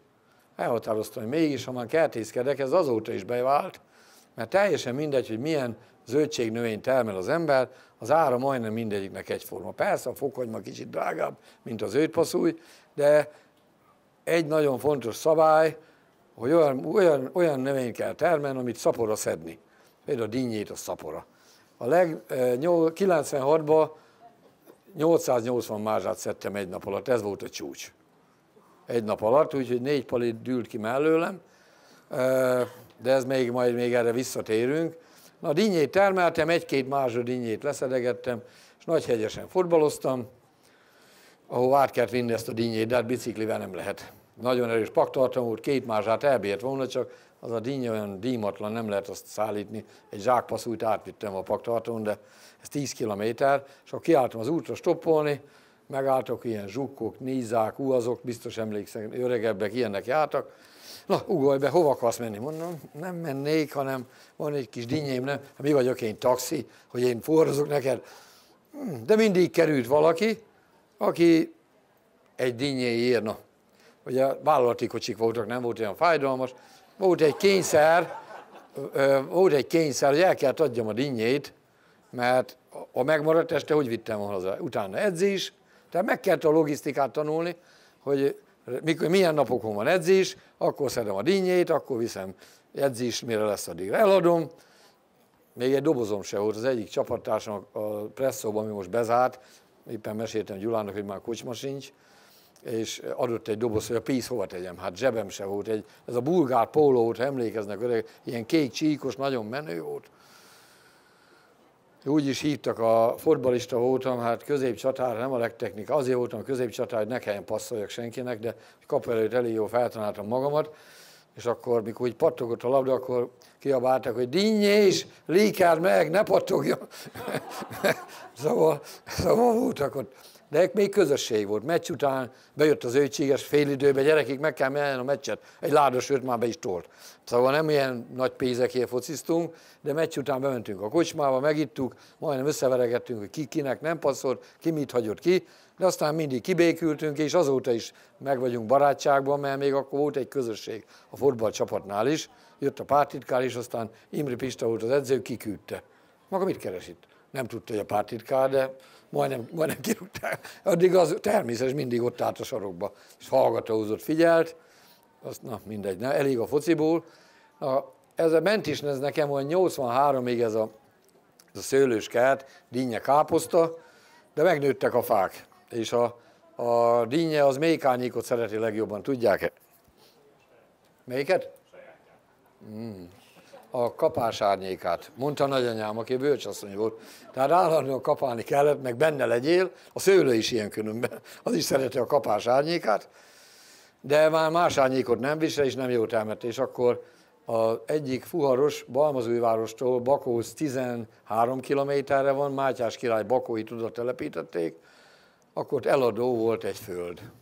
Ha volt egy kis bibi, már akkor egyéni gazda voltam, előtte munkanélkülő voltam, KMK-s, mert eh, TS mikor megszűnt, nem írták be egy egyéni gazdálkodó, mert egyéni gazdálkodó csak az lehetett, akinek fődje van. Fődje meg annak lehetett, aki egyéni gazdálkodó. Tehát ilyen róka fogta csuka, ez nevetséges, de az nem így működött akkor, jött a rendőr, akkor átmentem a másik oldalba. A diszkóba nem biztos, hogy én verekedtem először, hanem figyeltük, hogy hol van a rendőr, nehogy elkérje a személyigazolványt, mert úgy álltam, hogy mocskosi kiutalnak valóban kényszermunkára.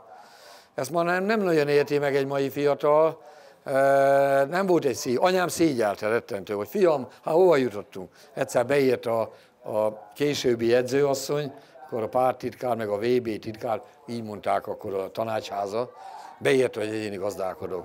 És így, de ne lobogtassam már, nehogy kiderüljön most gyorsan. Na itt eladó volt egy föld, három hektár, és azt meg lehetett venni 91 év bérlettel. Egy ügyes ügyvéd volt, 91 év bérlet. Hát addig majd csak lesz valami, mondta. Addig is használtam. Ebből a három hektárból egy hektár volt, ami, ami művelhető. A többi ilyen vízállásos, Balog Péternek tetszett volna, mert ilyen belvizes volt, és ott, ahol az orlós bogár is éhen döglik, mondták a, de, ezek a tagosítás. Mond ez valamit önöknek, mi az, hogy tagosítás? Amikor a parasztnak a jó fődjeit adtak egy rosszat a hótobágy szélébe, hogy na boldoguljon, ha maszekoskodni akar. Na ez is olyan volt, megöregedett, nem kellett a TSZ-nek se képzeljék el. Állami gazdaság TSZ minden elővásárlása volt. Na ez volt a legnehezebb időszak, mert a legnehezebb az, ha valamit nem lehet. Mert ha lehet valamit csinálni, de nehéz, az is jobb, mint mikor valamit nem lehet. Na, és akkor innen, innen kezdtem el dinnyét termelni, Rókaháton, az még, még béreltem egy másik földet, Hortobágy folyó partján, nem nőtt benne semmi, csak nádított.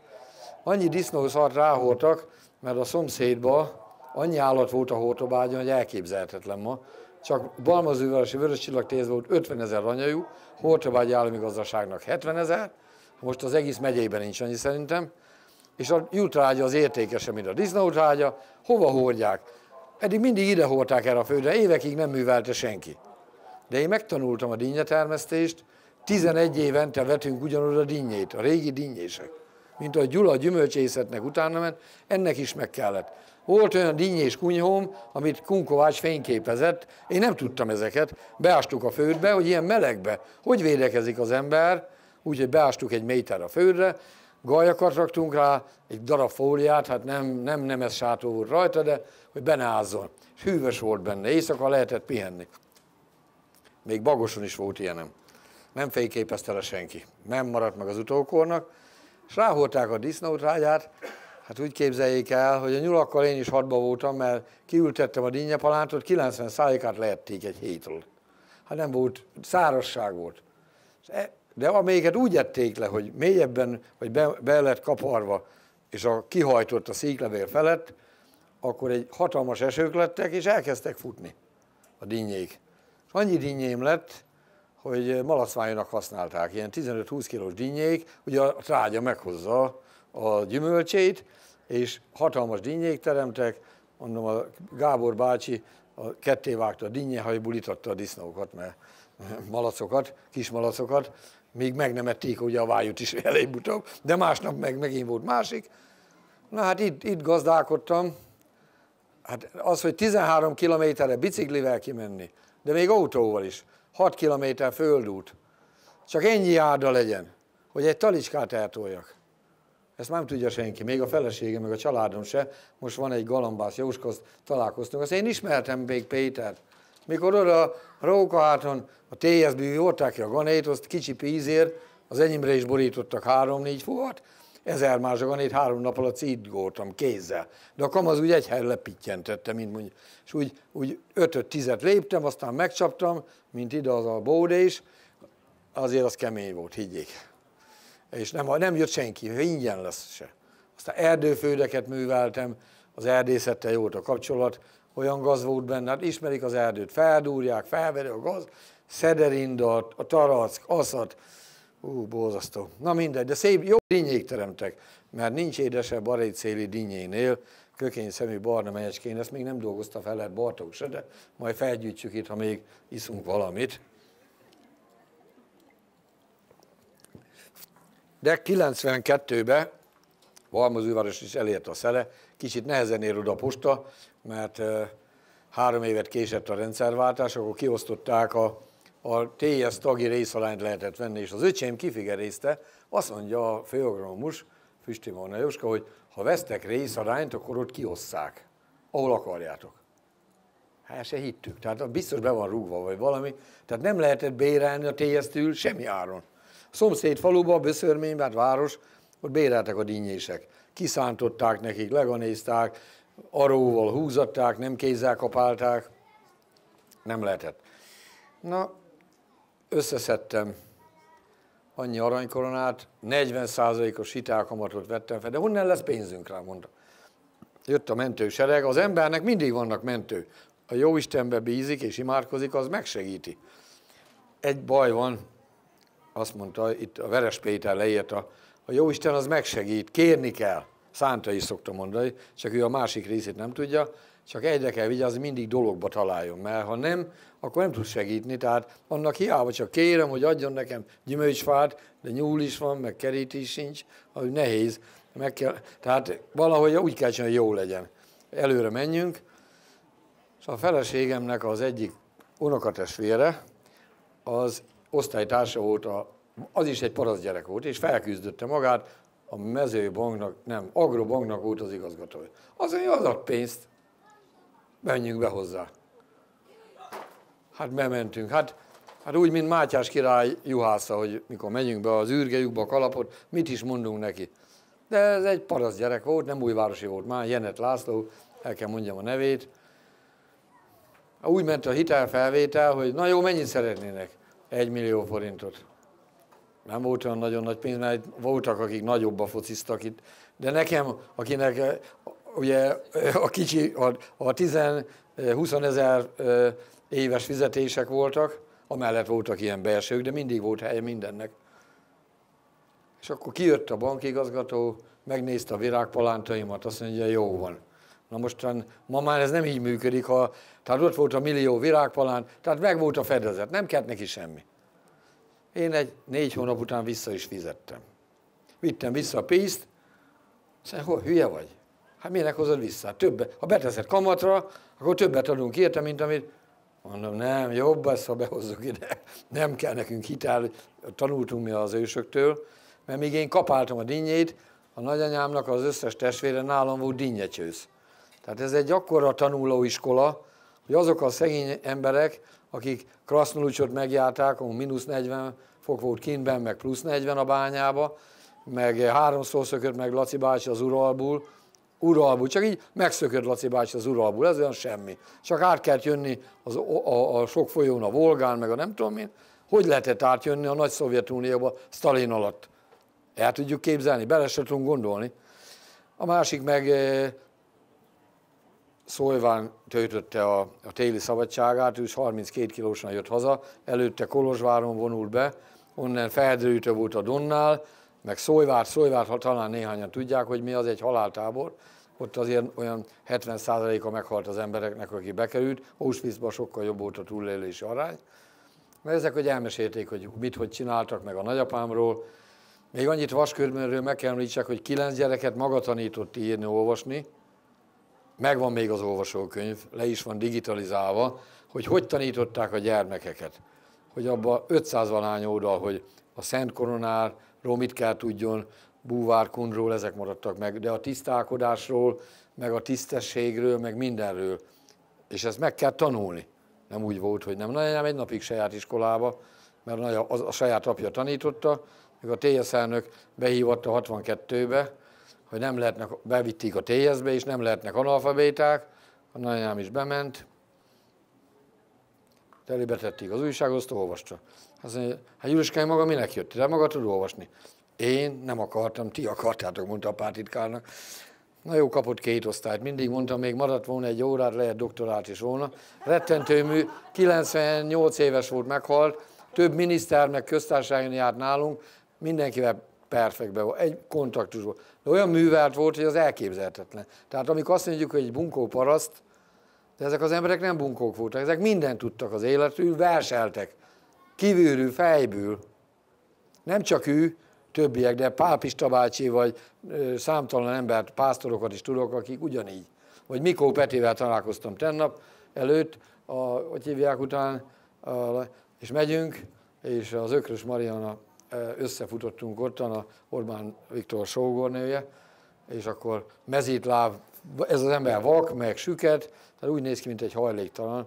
Azt egy mondani, egy szentkoronás, mondjam már nekik, lehidaltak, hogy az ember hogy tud ilyen verseket, de mondom 500-at tud még, nem ezt az egyet, és minden meg tud kézzel csinálni.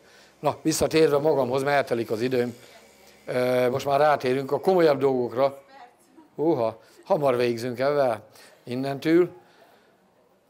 A kile, ezt a hitelt felvettem, 500 forint volt egy aranykorona, megütött az egyik ember magát, hogy ő 1006 alatt nem adja, mert úgyis megér az annyit pár év múlva. Na, de muszáj volt ezt, hogy kinéztünk magunknak, hogy legyen víz, villany, hogy a Bakóc után, ahol köves út sincs, villany sincs, semmi sincs, aki próbáljon meg valaki ma úgy élni. Nagyon szép ez a önellátás, meg minden, csak mikor belesik a paraszt, aztán este nem tud mit csinálni, nem tudja a tévét se bekapcsolni, mert nincs akkor egy kicsit átértékeli a család fenntartás is jobban ment, mert nem, lett, nem volt más csinálni az embereknek, ezért sok gyerek született, meg korán felkeltek reggel, mert nem bírtak aludni. Azt valamit tevékenykedtek. Ma meg 8-kor, 9-kor városi ember még fel van háborodva, kukorékol a kukas, vagy nem tudom. Tehát ezért világ ki van fordulva a világból, hogy Gyula mondja, kifizettem 1600-on mindenkit.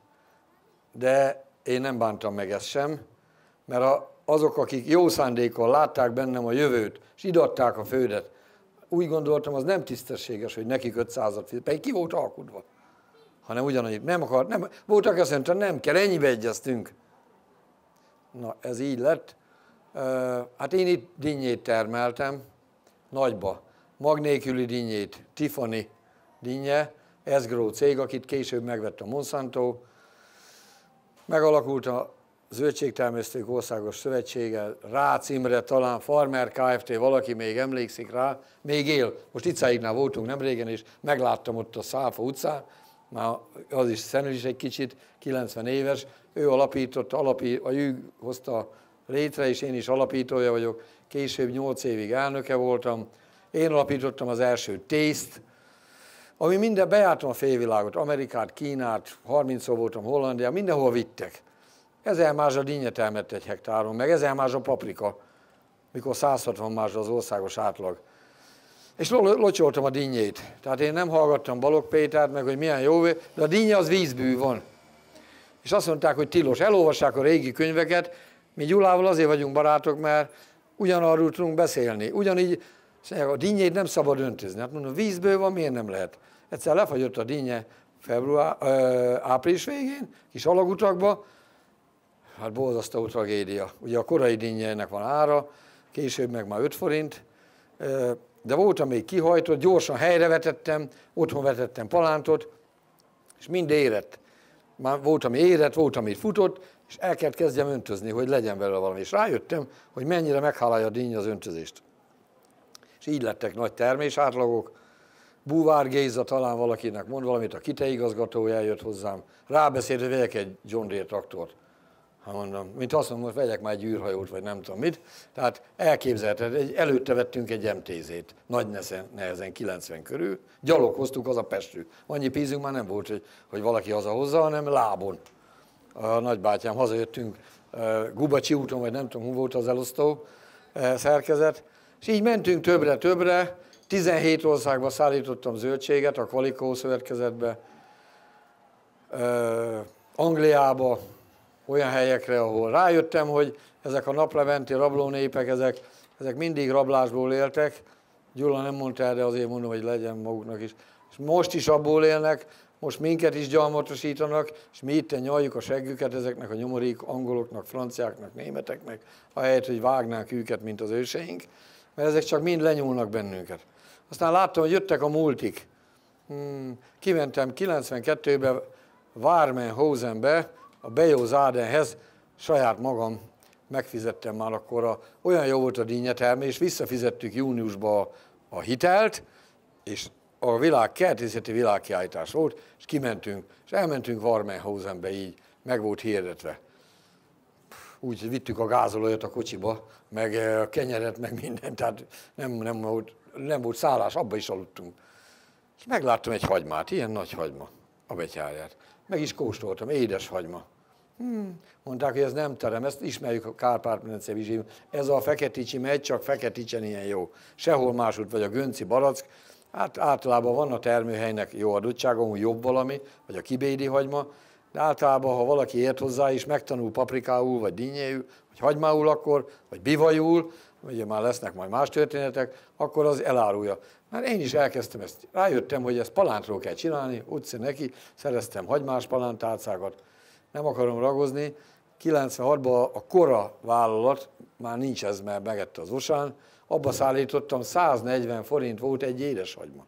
Ők jöttek, hogy nem -e lehetne nekik, mert ismerték a dolgaimat, sőt, volt egy, egy fiú, még ezt elmondom, meghalt autóbalesetben, vörös diplomával végzett, és a TVK felvette. Oda jött nyári szünetbe 92-ben csövet hordani. Tudják, mikor négyszer telepítjük a csövet egy nap, az öntözésről külön tudnék egy napot mesélni, mikor a, a Mia dízel, meg locsolóval, meg kút, meg izével, Thomas szivattyúval, meg a Mia olyat ütött az emberen, tudják mi az az egy, egy mint a Hoffer, ilyen egy dugattyús. Ez a gyerek hordta a csövet, majd bepisélt, az összes nagypofájú parasztgyerek mind kibukott, ő megmaradt, és programozó matematikusnak tanult, és azt mondja, Péter, vagy csinálok magának egy címkét megvan mai napig, ez egy pajzs, rajta a Rózsa Péter, meg egy telefonszám. Ezt ráragazgattam a dinnyére, meg a padlizsánra, rájöttem, mert azt hiszik, hogy én onokos voltam. Mindig az élet sorol olyan helyre, rájöttem, hogy megvették, hív egy győrből egy nő, fantasztikus, én még ilyet nem látod, hogy Magyarországon ilyen minőségű hogy volt Bécsbe a piacon, és és hogy lehetne venni? Hát mondom, Eh, szóljon az ötségesnek, és ha vette, akkor biztos tud venni. A nagybani piacon ott ugye születnek és halnak meg emberek, tehát az egy olyan életforma, hogy hat napig jártunk, hetedik nap aludtunk egy napig, már nem bírtuk. Egész nap dolgozol, este mész a piacra, barkasszal, Budapesten négy óra, mire felbiciklizál, meg négy vissza, és ha nem adod el, akkor még viheted vissza. Rájöttem, hogy ez mekkora fogás. Rajta van a címke, és valaki nem tudott venni, akkor buzdítottam, külön embereket alkalmaztam azért, hogyha nem menjenek, szóljanak az őtségesnek, hogy vegyen Rózsa Pétert ő. Tehát ilyen hálózaton volt, ilyen mafiózók, akik felhajtották, hogy miért nincs Rózsa Péter dinnyéje, vagy padlizsánja a győri vagy a pesti bódba. Na, nagy dolog, csak hogy marketingre essen szó, hogy milyen nehéz eladni. De én kitanultam a sütőtöktől, így mentem előre, és ezt a hagymát 140 ér megvette a kora, 280 ér adta. Az árokparton 20 forint volt egy kilo hagyma. De mindenki édes hagymát akart, a egyszer megkóstolta. Ettek már ilyet? Most is van. És kiszedték a nagyhagymát ugyan ügyesek, három-négy év után már 30 forint volt egy kiló, mert más is rájött, hogy a nagyhagyma, de az már nem volt édes. Most a fiam nem tudom mennyire adja az édeshagymát, de megint jó, nem csinál bele sokat, de én ebből naponta palettákat vittem fel. Százezer hagymát ültettem, ki lehet számolni, ez mennyi pénz? 24 millió forint. Gondoljuk, az 90-es években, hát ez egy vagyon volt, ez felfoghatatlanul sok pénz volt. Na, szupermarket, abba hagytam az exportot, 13 kamion volt a legtöbb, ami kiment egy nap az udvarról, már a Kvalikó szövetkezés az én udvaromon kezdődött. Elkezdtem a szupermarketeknek. Rájöttem, hogy ezek is mind tárgyalás nélkül lehet akasztani, mint ahogy az egyik öreg pásztor mondta. Amelyik arány nagyfiam juhász volt öt évig, tárgyalás nélkül lehet akasztani mindet. Már az olyan zsivány mind. Na, szóval azt is abba hagytam, és 2025 évvel ezelőtt, vagy 24 és fél, biogazda lettem, és ott hagytam az összest. Mondták, hogy hát egy párszor újra kezdtem. Akkor bevonultam katonának, Petőfi laktanyában, ami most már Labansz néven fut, ahol díszelgő katona voltam, míg, ugye még katonáskodtam, addig a birtok maradt ott, az a kevés, nem sok volt, de hát hazamentem, én nem a diszkóba rohantam, hanem kapálni, hogy valami megmaradjon, és így maradt akkor, mikor elváltam az első feleségemtől, akkor felít vitte a kis vagyonnak, nem sok volt, de csak oda lett a fele, aztán oda maradtak a szupermarketek, jött a rendszerváltás, a, a, hogy mondjam, nem rendszervált, EU csatlakozás, akkor megint újabb traumák értek, de mikor biogazda voltam, akkor rájöttem, hogy hát ez nem, nem olyan bonyolult ez, hát állat kell hozzá. Akkor vettem tehenet, emlékszek, Apáti Gyurkától vettem, a Csengeri polgármester, nagyon okos ember, hát mindenki szereti ott, mert aztán ügyeskedett is, Makovesz nagy projektet hajtott. Aki Csengerbe járt, meglátja, hogy milyen ember volt. Apáti, van, van jó zenesze, vagyis volt. Vettünk tehenet, rájöttünk, a tehén nem csak trágyája van, hanem teje is, akkor kezdtünk túrót csinálni, este vittem be az ültiteles üveget, az asszony fogta a foga közt a, a pelenka vásznat, és akkor a tejföld azon szűrtük át, és akkor így indult ez a projekt, még egyszer Méhér Zoli eladta az egészet, és megvettük 6 millió forintért a tudományt, és megtanultunk rendes sajtot. Addig is sikerült, nem mindig, Tiszta útra módon. És akkor lettek, volt elég két magyar talkatehén, ott volt egy ló. 2000-ben azt mondják a madarász barátaim, hogy vegyem már meg ezt a vókonyát, mert, mert megveszik a, a németek majd minden tanyát, nem sok tanya van a Ótobágyon. Hát mondom, egy vasam nincs. Hát most, most, most majdnem tönkre mentem. Akkor volt ez a Torgyán hitel. Torgyán is sok disznóságot elkövetett a magyar mezőgazdaság ellen, meg a haza ellen, de például volt ez a 100% kamat támogatott hitel, meg, meg mindenféle egyéb, úgyhogy 16 millióért megvettem. Két szamár, egy ló, két szürke mar, így mentünk ki. Hát most úgy mondom, hogy most van 200 szamár, 240 bivaj, már csak szürke vagy 40, ló van vagy 70, mangolica 1200, akkor mi van még, racka már 300, a tyúkféle minden, 1200 csirke, 450 gyöngytyúk, mert most a biokontrollnál könyvelni kell, azt be kell diktálni, hogy mennyi kotlott, meg mennyi ellet, meg hunna, mocsárba, jaj, jaj, szóval van sok hülyeség ott is. Már négy titkárnő könyveli csak az adminisztrációt, a, a, a lovakra meg nem vigyáz senki, meg a disznókra, mert arra már nincs ember, de megpróbálunk megfelelni. Rájöttem, hogy az emberek nem esznek disznót, meg nem esznek tehenet, se búzát, és elkezdtem 2003-ba szapart hitelből, meg támogatásból, meg vidékfejlesztési. Volt egy kiváló ember, ide valósi. Lehet meg kéne hívni egyszer. Okosságokat tud mondani, dr. Font Erzsébet. Mond ez valakinek valami? Nagyon nem, nagyon nem akárki volt Erzsike, és segített nekem. Hm, Péter, hagyja ebben, nincs egy vas, ezt már rég elosztották a nagyok. Itt, ez meg magának van kiírva. Ha pályázza meg, és akkor nyerni fog. Na szóval ez is kell segítség, hogy a, az embereknek mindig volt olyan pártfogója, soha nem kért semmit. Mindenbe. Hm, na, lettek állataim, lettek feldolgozóim. Most már van húsüzem, tejüzem, feljük a szamarat, a lovat, nem a lovat, nem a bivajt, a bivajt és a magyar tarkát, 600 féle termékünk van.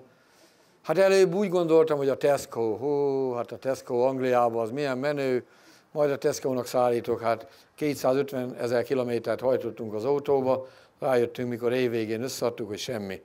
nulla az eredmény, akkor mondom, a piacokat kell csinálni, ez 2002-ben volt, 20 valahány éve.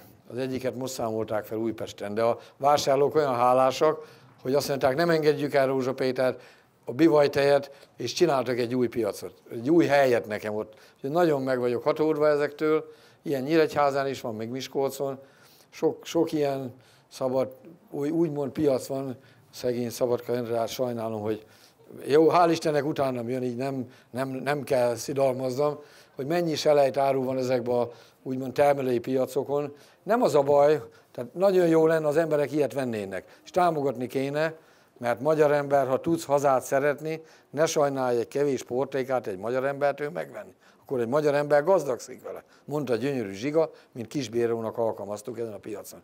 Európa legnagyobb piac lett az a biopiac. Még pokolnyi oda is be nem pakolt. Hát arról is tudnék beszélni, majd valakit érdekel, elmondom. Még egy fröccsör kapok utána. És hát így mentünk többre, többre, építettünk, Makovec iskolát akartam építeni, rájöttem, hogy annyira sok a hülyebb a világban, és itt az államiskolákban ezt nem lehet orvosolni, ez most sokkal rosszabb a helyzet. 2006-ban iskolát tervezett nekem, akkor összevesztünk, valami kis apróságon, nem véletlenül, különben halál előtt kibékültünk. Szegény titkárnője azért járt kévekök a biopiac, hogy két ilyen embert összebékítsen, mármint engem meg Makovecet. Akkor, akkor Tamás Gábor tervezett egy másik iskolát, lehet ismerik, most nagy híre van a, a Biatorbágy iskolának, fantasztikus tervező, Makovec első számú tanítványa. Hát abba is belebuktam, egyel belebukni látszok az iskola programba, ugye az első tétel, hogy a gyereknek gyógyszer a verés, ez az első mondat, de csak ha kívánja. De, de hát amelyik gyerek nem érti meg, hogy nekem vannak unokáim, Zsiguci egy éves, másfél és megyen a szekrénybe, ezt szoktam mert az összes többinél is megy oda, ismerik ezt. Ettől jobb példát nem tudok mondani. Megyen négy kézláb, megy a szekrény, és rámolja ki az edényt. És jön az anyuka, meg az nagyanyja, a feleségem, akkor ráripakodnak, hogy zsiga, hmm, zsiga, felnéz arrébb, megy, arrébb tessékelik, persze zsiga nem hülye, megy évesen is, még beszélni nem tud, még járni se, csak négy kézláb, megy vissza. Na most a zsigát nem kell verni, de e, mikor oda megy, akkor én, én majd most bízátok én rám megy odafel a zsiga, rákiabálok, zsiga! Megszeppe? Persze, kotrió, de már a szemes arkában, mint hogy hozzá volt szokva az anyai törődésre megy, akkor megint zsiga! A zsiga megérti, hogy nem szabad? Meg. Meg vagyok győződve, hogy megérti. Na most a nagyobbik már, Marci az már nagyobb. Ha mondjuk valami kárt csinál, vagy én kárt csináltam, mondjuk mesélem a sajátomat, apám engem hogy nevelt. Hát például fociztunk, mert nálunk volt nagy udvar, volt tehén, és akkor berúgtuk a labdát a kertbe, akkor beugrott a gyerek, akkor vagy letaposta a kerítés lécet, az is baj volt, vagy letaposta a tököt, mert ugye a labdáért, vagy ne Isten, berúgta az ablakot, ha jött apám haza bicikli a TS-ből. Hmm, nem akarsz valamit mondani? Teológiát nem végzett, de valami tudott. Nem akarsz valamit mondani? Vajon mit tudhat? Az ablakot biztos tudja, az látszik. A tököt lehet nem tudja. Jobb, ha bevalljuk most, ha kevesebben megúszuk. Na és akkor, hát úgy sikerült. Na hát akkor, akkor lehet menni gyűjteni, hónap megyünk a kőudvarba, 10 kilométer, biciklivel, az öcsémet viszem a vázon, 10 kilométer. És akkor kaptunk egy 50 féles fagylaltot bónusz, mikor megvolt, de még előtte azért, hogy érezzük a törődést, na azt mondja, hogy tudod, hogy nem szabad itt fotbalozni? Tudom. És akkor akkor mégis miért? Hát, mit tudtam erre mondani? Hát nem lehetett mit mondani. Na menj ki a bírsam a fáról, vágj egy gajat. Olyat, ami nekem is tetszik. A pszichológia. Tehát ami neki tetszik, az nekem nem olyan jó. Ami meg nekem jó, az neki nem tetszik. Tehát mire odaértem, már nem kellett a verés. Már elég volt a pszichológia, de kaptunk azért, hogy érezzük a törődést. Ritkán a vaskörmű nagyapámnak is ott volt a karikás. És azt mondja a feleségem, azért nincs egy gyerek az iskolába, mert így beszélek róla. Mert megmagyarázzák, itt van ilyen oktatósátor, oda nem hívnak engem, de, de a gyerek ma is tudja, hogy mi a jó. Akkor miért nem úgy? Miért kell nevelni a gyereket? Azért, mert nem tud, mert neveletlen. Azt mondják, hogy neve, mondta apám, hogy van három neveletlen gyerekem, pedig nem igaz, mert neveltek, folyamatosan rajta tartotta a szemét. Mind, egy nap nem volt, hogy ne tudja meg, ez a szekunda honnan jött? Hmm. Na még egy lesz, akkor nem mész focizni. Vigyáztam, hogy ne legyen, akkor gyorsan szereztem egy ötöst, és tanulni nem jártam. Én nem, otthon nem tanultam. Rájöttem, az iskolába érdemes figyelni. Akkor otthon nem kell tanulni, és így lettem négyes. Még a középiskolában is majdnem. Na így lettünk többről többre, lett egy csomó biotermék, az most se jobb, mint mikor egy biciklin volt. Most már van egy csomó gyümölcsem, ott van terítve a főrön, ez a sok ember nem szedné fel, aki itt van. A Paraszt Akadémia, az iskolát azért kísértem most is, azoknak most ingyen adom, most jönnek majd hétvégén ecetnek való almái. Már vittek egy adagot két hónapja. Mondom, Gyula nem javasolna ezt a korai almát, ne azt higgyétek, hogy sajnálom, pedig sajnáltam egy kicsit, mert, mert akkor még volt ára annak a korai almának, vagy kötének. De lehetek ott maguknak, ami lehúlik, úgyis. Tehát e, itt tartunk most, hogy mindenünk van, de közben még annyit talán a hazáról, egy kevés szót én is ejték hajdanába, mint amikor annyit is nehéz volt, írja Arany János, akkor dicsőítő versekre kérték a Sziszi királynő koronázására, és ezt írta. Annyit is nehéz volt, most hallgatag lettem és gyáva, most mikor szabad sajtó van, és süvölt a pajkos gyermek, és vénasszony az utcajtóba, fülébe ordít királynak, miniszternek. Ez egy jó kis vers, mert rövid, de jó velős, mert mikor ezt, itt van egy ilyen mogy, gondoljuk ez a sok ember, aki itt van, nem tudom, mennyi vannak itt, mit gondolnak? Pár vannak mondjuk 5000, ez mind ültetne egy fát legalább. Vagy otthon kivágná a tujafáját, ültetne meg, tartan egy pár disznót, ez a haza hazátlan. Hát nincs senki, aki nem művelő hazát. Ki művelő hazát? A paraszt művelő. Paraszt az ki van veszve. Gyula mondja, egy kezünkön megszáll, aki még valami, valamit érte ez a művelethez. Tehát ahol nincs ember, állat, növény egység. Erre kértek pár hónappal ezelőtt, doktor is megjött ide az első sorba. Ez egy rendes doktor. E meghívott előadást tartsak az állatorvosoknak decemberbe. Hát mondom, nem jó az nekik, ha én oda megyek, de... De aztán nagyon bőszen helyeseltek.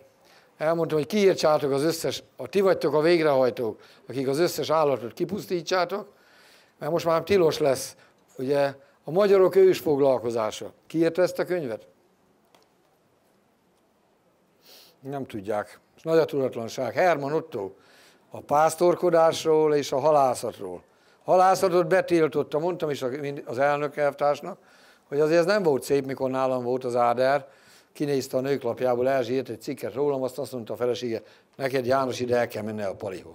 El is jött, felálltak a pásztorok, nem úgy, mint Hortinak mezítláb cifra szűrbe. Én sem vettem fel a csizmám, mert mondom, ha így álltak a régi számadók, akkor én sem vagyok mezítláb, nem, nem akkor a baj. De ez, a, ez, az, ez az ős foglalkozás megszüntették a halászatot. Ez bűncselekmény. Tehát mikor ez az ország az ellenségnek vizákat adományozott, hogy ne dögöljön éhen, mert fegyvertől halljon meg, ne éhen, akkor mink itt éhen döglünk a saját országunkba, és a mogyon is robbasztott csirkét ennek az asztalra. Bocsánat, vendégül láttak, de muszáj elmondjuk, azt hiszik, hogy milyen jó. Mert nem ettek még rendes ételt. Nem tudják megszervezni, hogy vágjanak már le egy szürke marhát, az főzzenek egy gulyás, vagy valamit. Hazátlan. Az, én most itt jöttem keresztül, Mincent, Szentes, Szarvas, szeretek így kóborolni. De ebbe az országban nincsenek emberek. Nincsenek magyarok. Mind ül, a, nézi a telefonját, de nem akar dolgozni. Mondja Gyula, hogy kipusztulnak, mondja Gyula, kipusztulnak a tuják. Azt mondja, nagyon jó teszik, az a dolguk. Szerény ember, de a tujafa helyett almafát ültetsz. Ha van két disznód, hát most már lehet disznó akárun. Még a város rendezési terv se. De, mert tiltották újvároson. Az egyik kis gazda, aki szomszédon volt, Bakócba, ez egy két, két aglegény volt. Képzeljék el, ha fel tudják azt fogni, nem tudtak megnősülni. Mert olyan számkivetetnek számított, aki kikerül a hortobágyra. Ott lettek aglegények. Egyik oldalt volt az egyik, a más, az egyik eh, Bakiós, Bakián Pista bácsi, a másik Kecskés Gábor. Három lovas csengő szekérrel jött ki, de a lovat nem tudta felállítani az istálló 25 évesen. Falkánál felállít, ott kijött, mikor már állt a ló nem köszönt három évig. Nem az, hogy de jó, fasz a gyerek, ez itt kijött ide, dinnyét itt a, a szíken ennyire, és milyen ügyes. Nem is köszön. Mit akar ez az ugrifüles itt? De aztán összemelegettünk, mert a, ezek az emberek, amilyen kemények és idegek, mikor látják, hogy milyen a másik, annál jobban szeretik. Megyek egy reggel, dulf, megköt, meggombolva az ing. Az enyém is ki van gombolva. Megkötős gatya, a hosszú alsó gatya. Boxsizma, veti a tököt májusba így. Tudják, hogy a zsebben nyúl, meg... Hát mit csinál Gábor bácsi? Tököt vetek. Mert látod már a bak is urizál, urizál. Mondom, mit, mit urizál? Hát látod, géppel vágta, 70 valány éves géppel vágta azt az egyköblös utcán, mert nem tudja már kézzel levágni. Meg traktort fogadott. Értjük ezt a mentalitást? Urizál. Hát mondom, maga is aglegény, ő is aglegény. Miért nem, miért nem szeretik egy kicsit egymást? Azt mondja, az nem aglegény. Annak volt felesége, csak a vínasszony elüldözte. Száz éves volt az anyja, elüldözte az öreg asszony, mit gondolnak miért? Hát pocsíkolt. Pocsíkolt! Nem mondom, mégis mit pocsíkolt? Nem törölte ki a tojásait. Na, ne legyen a végszó.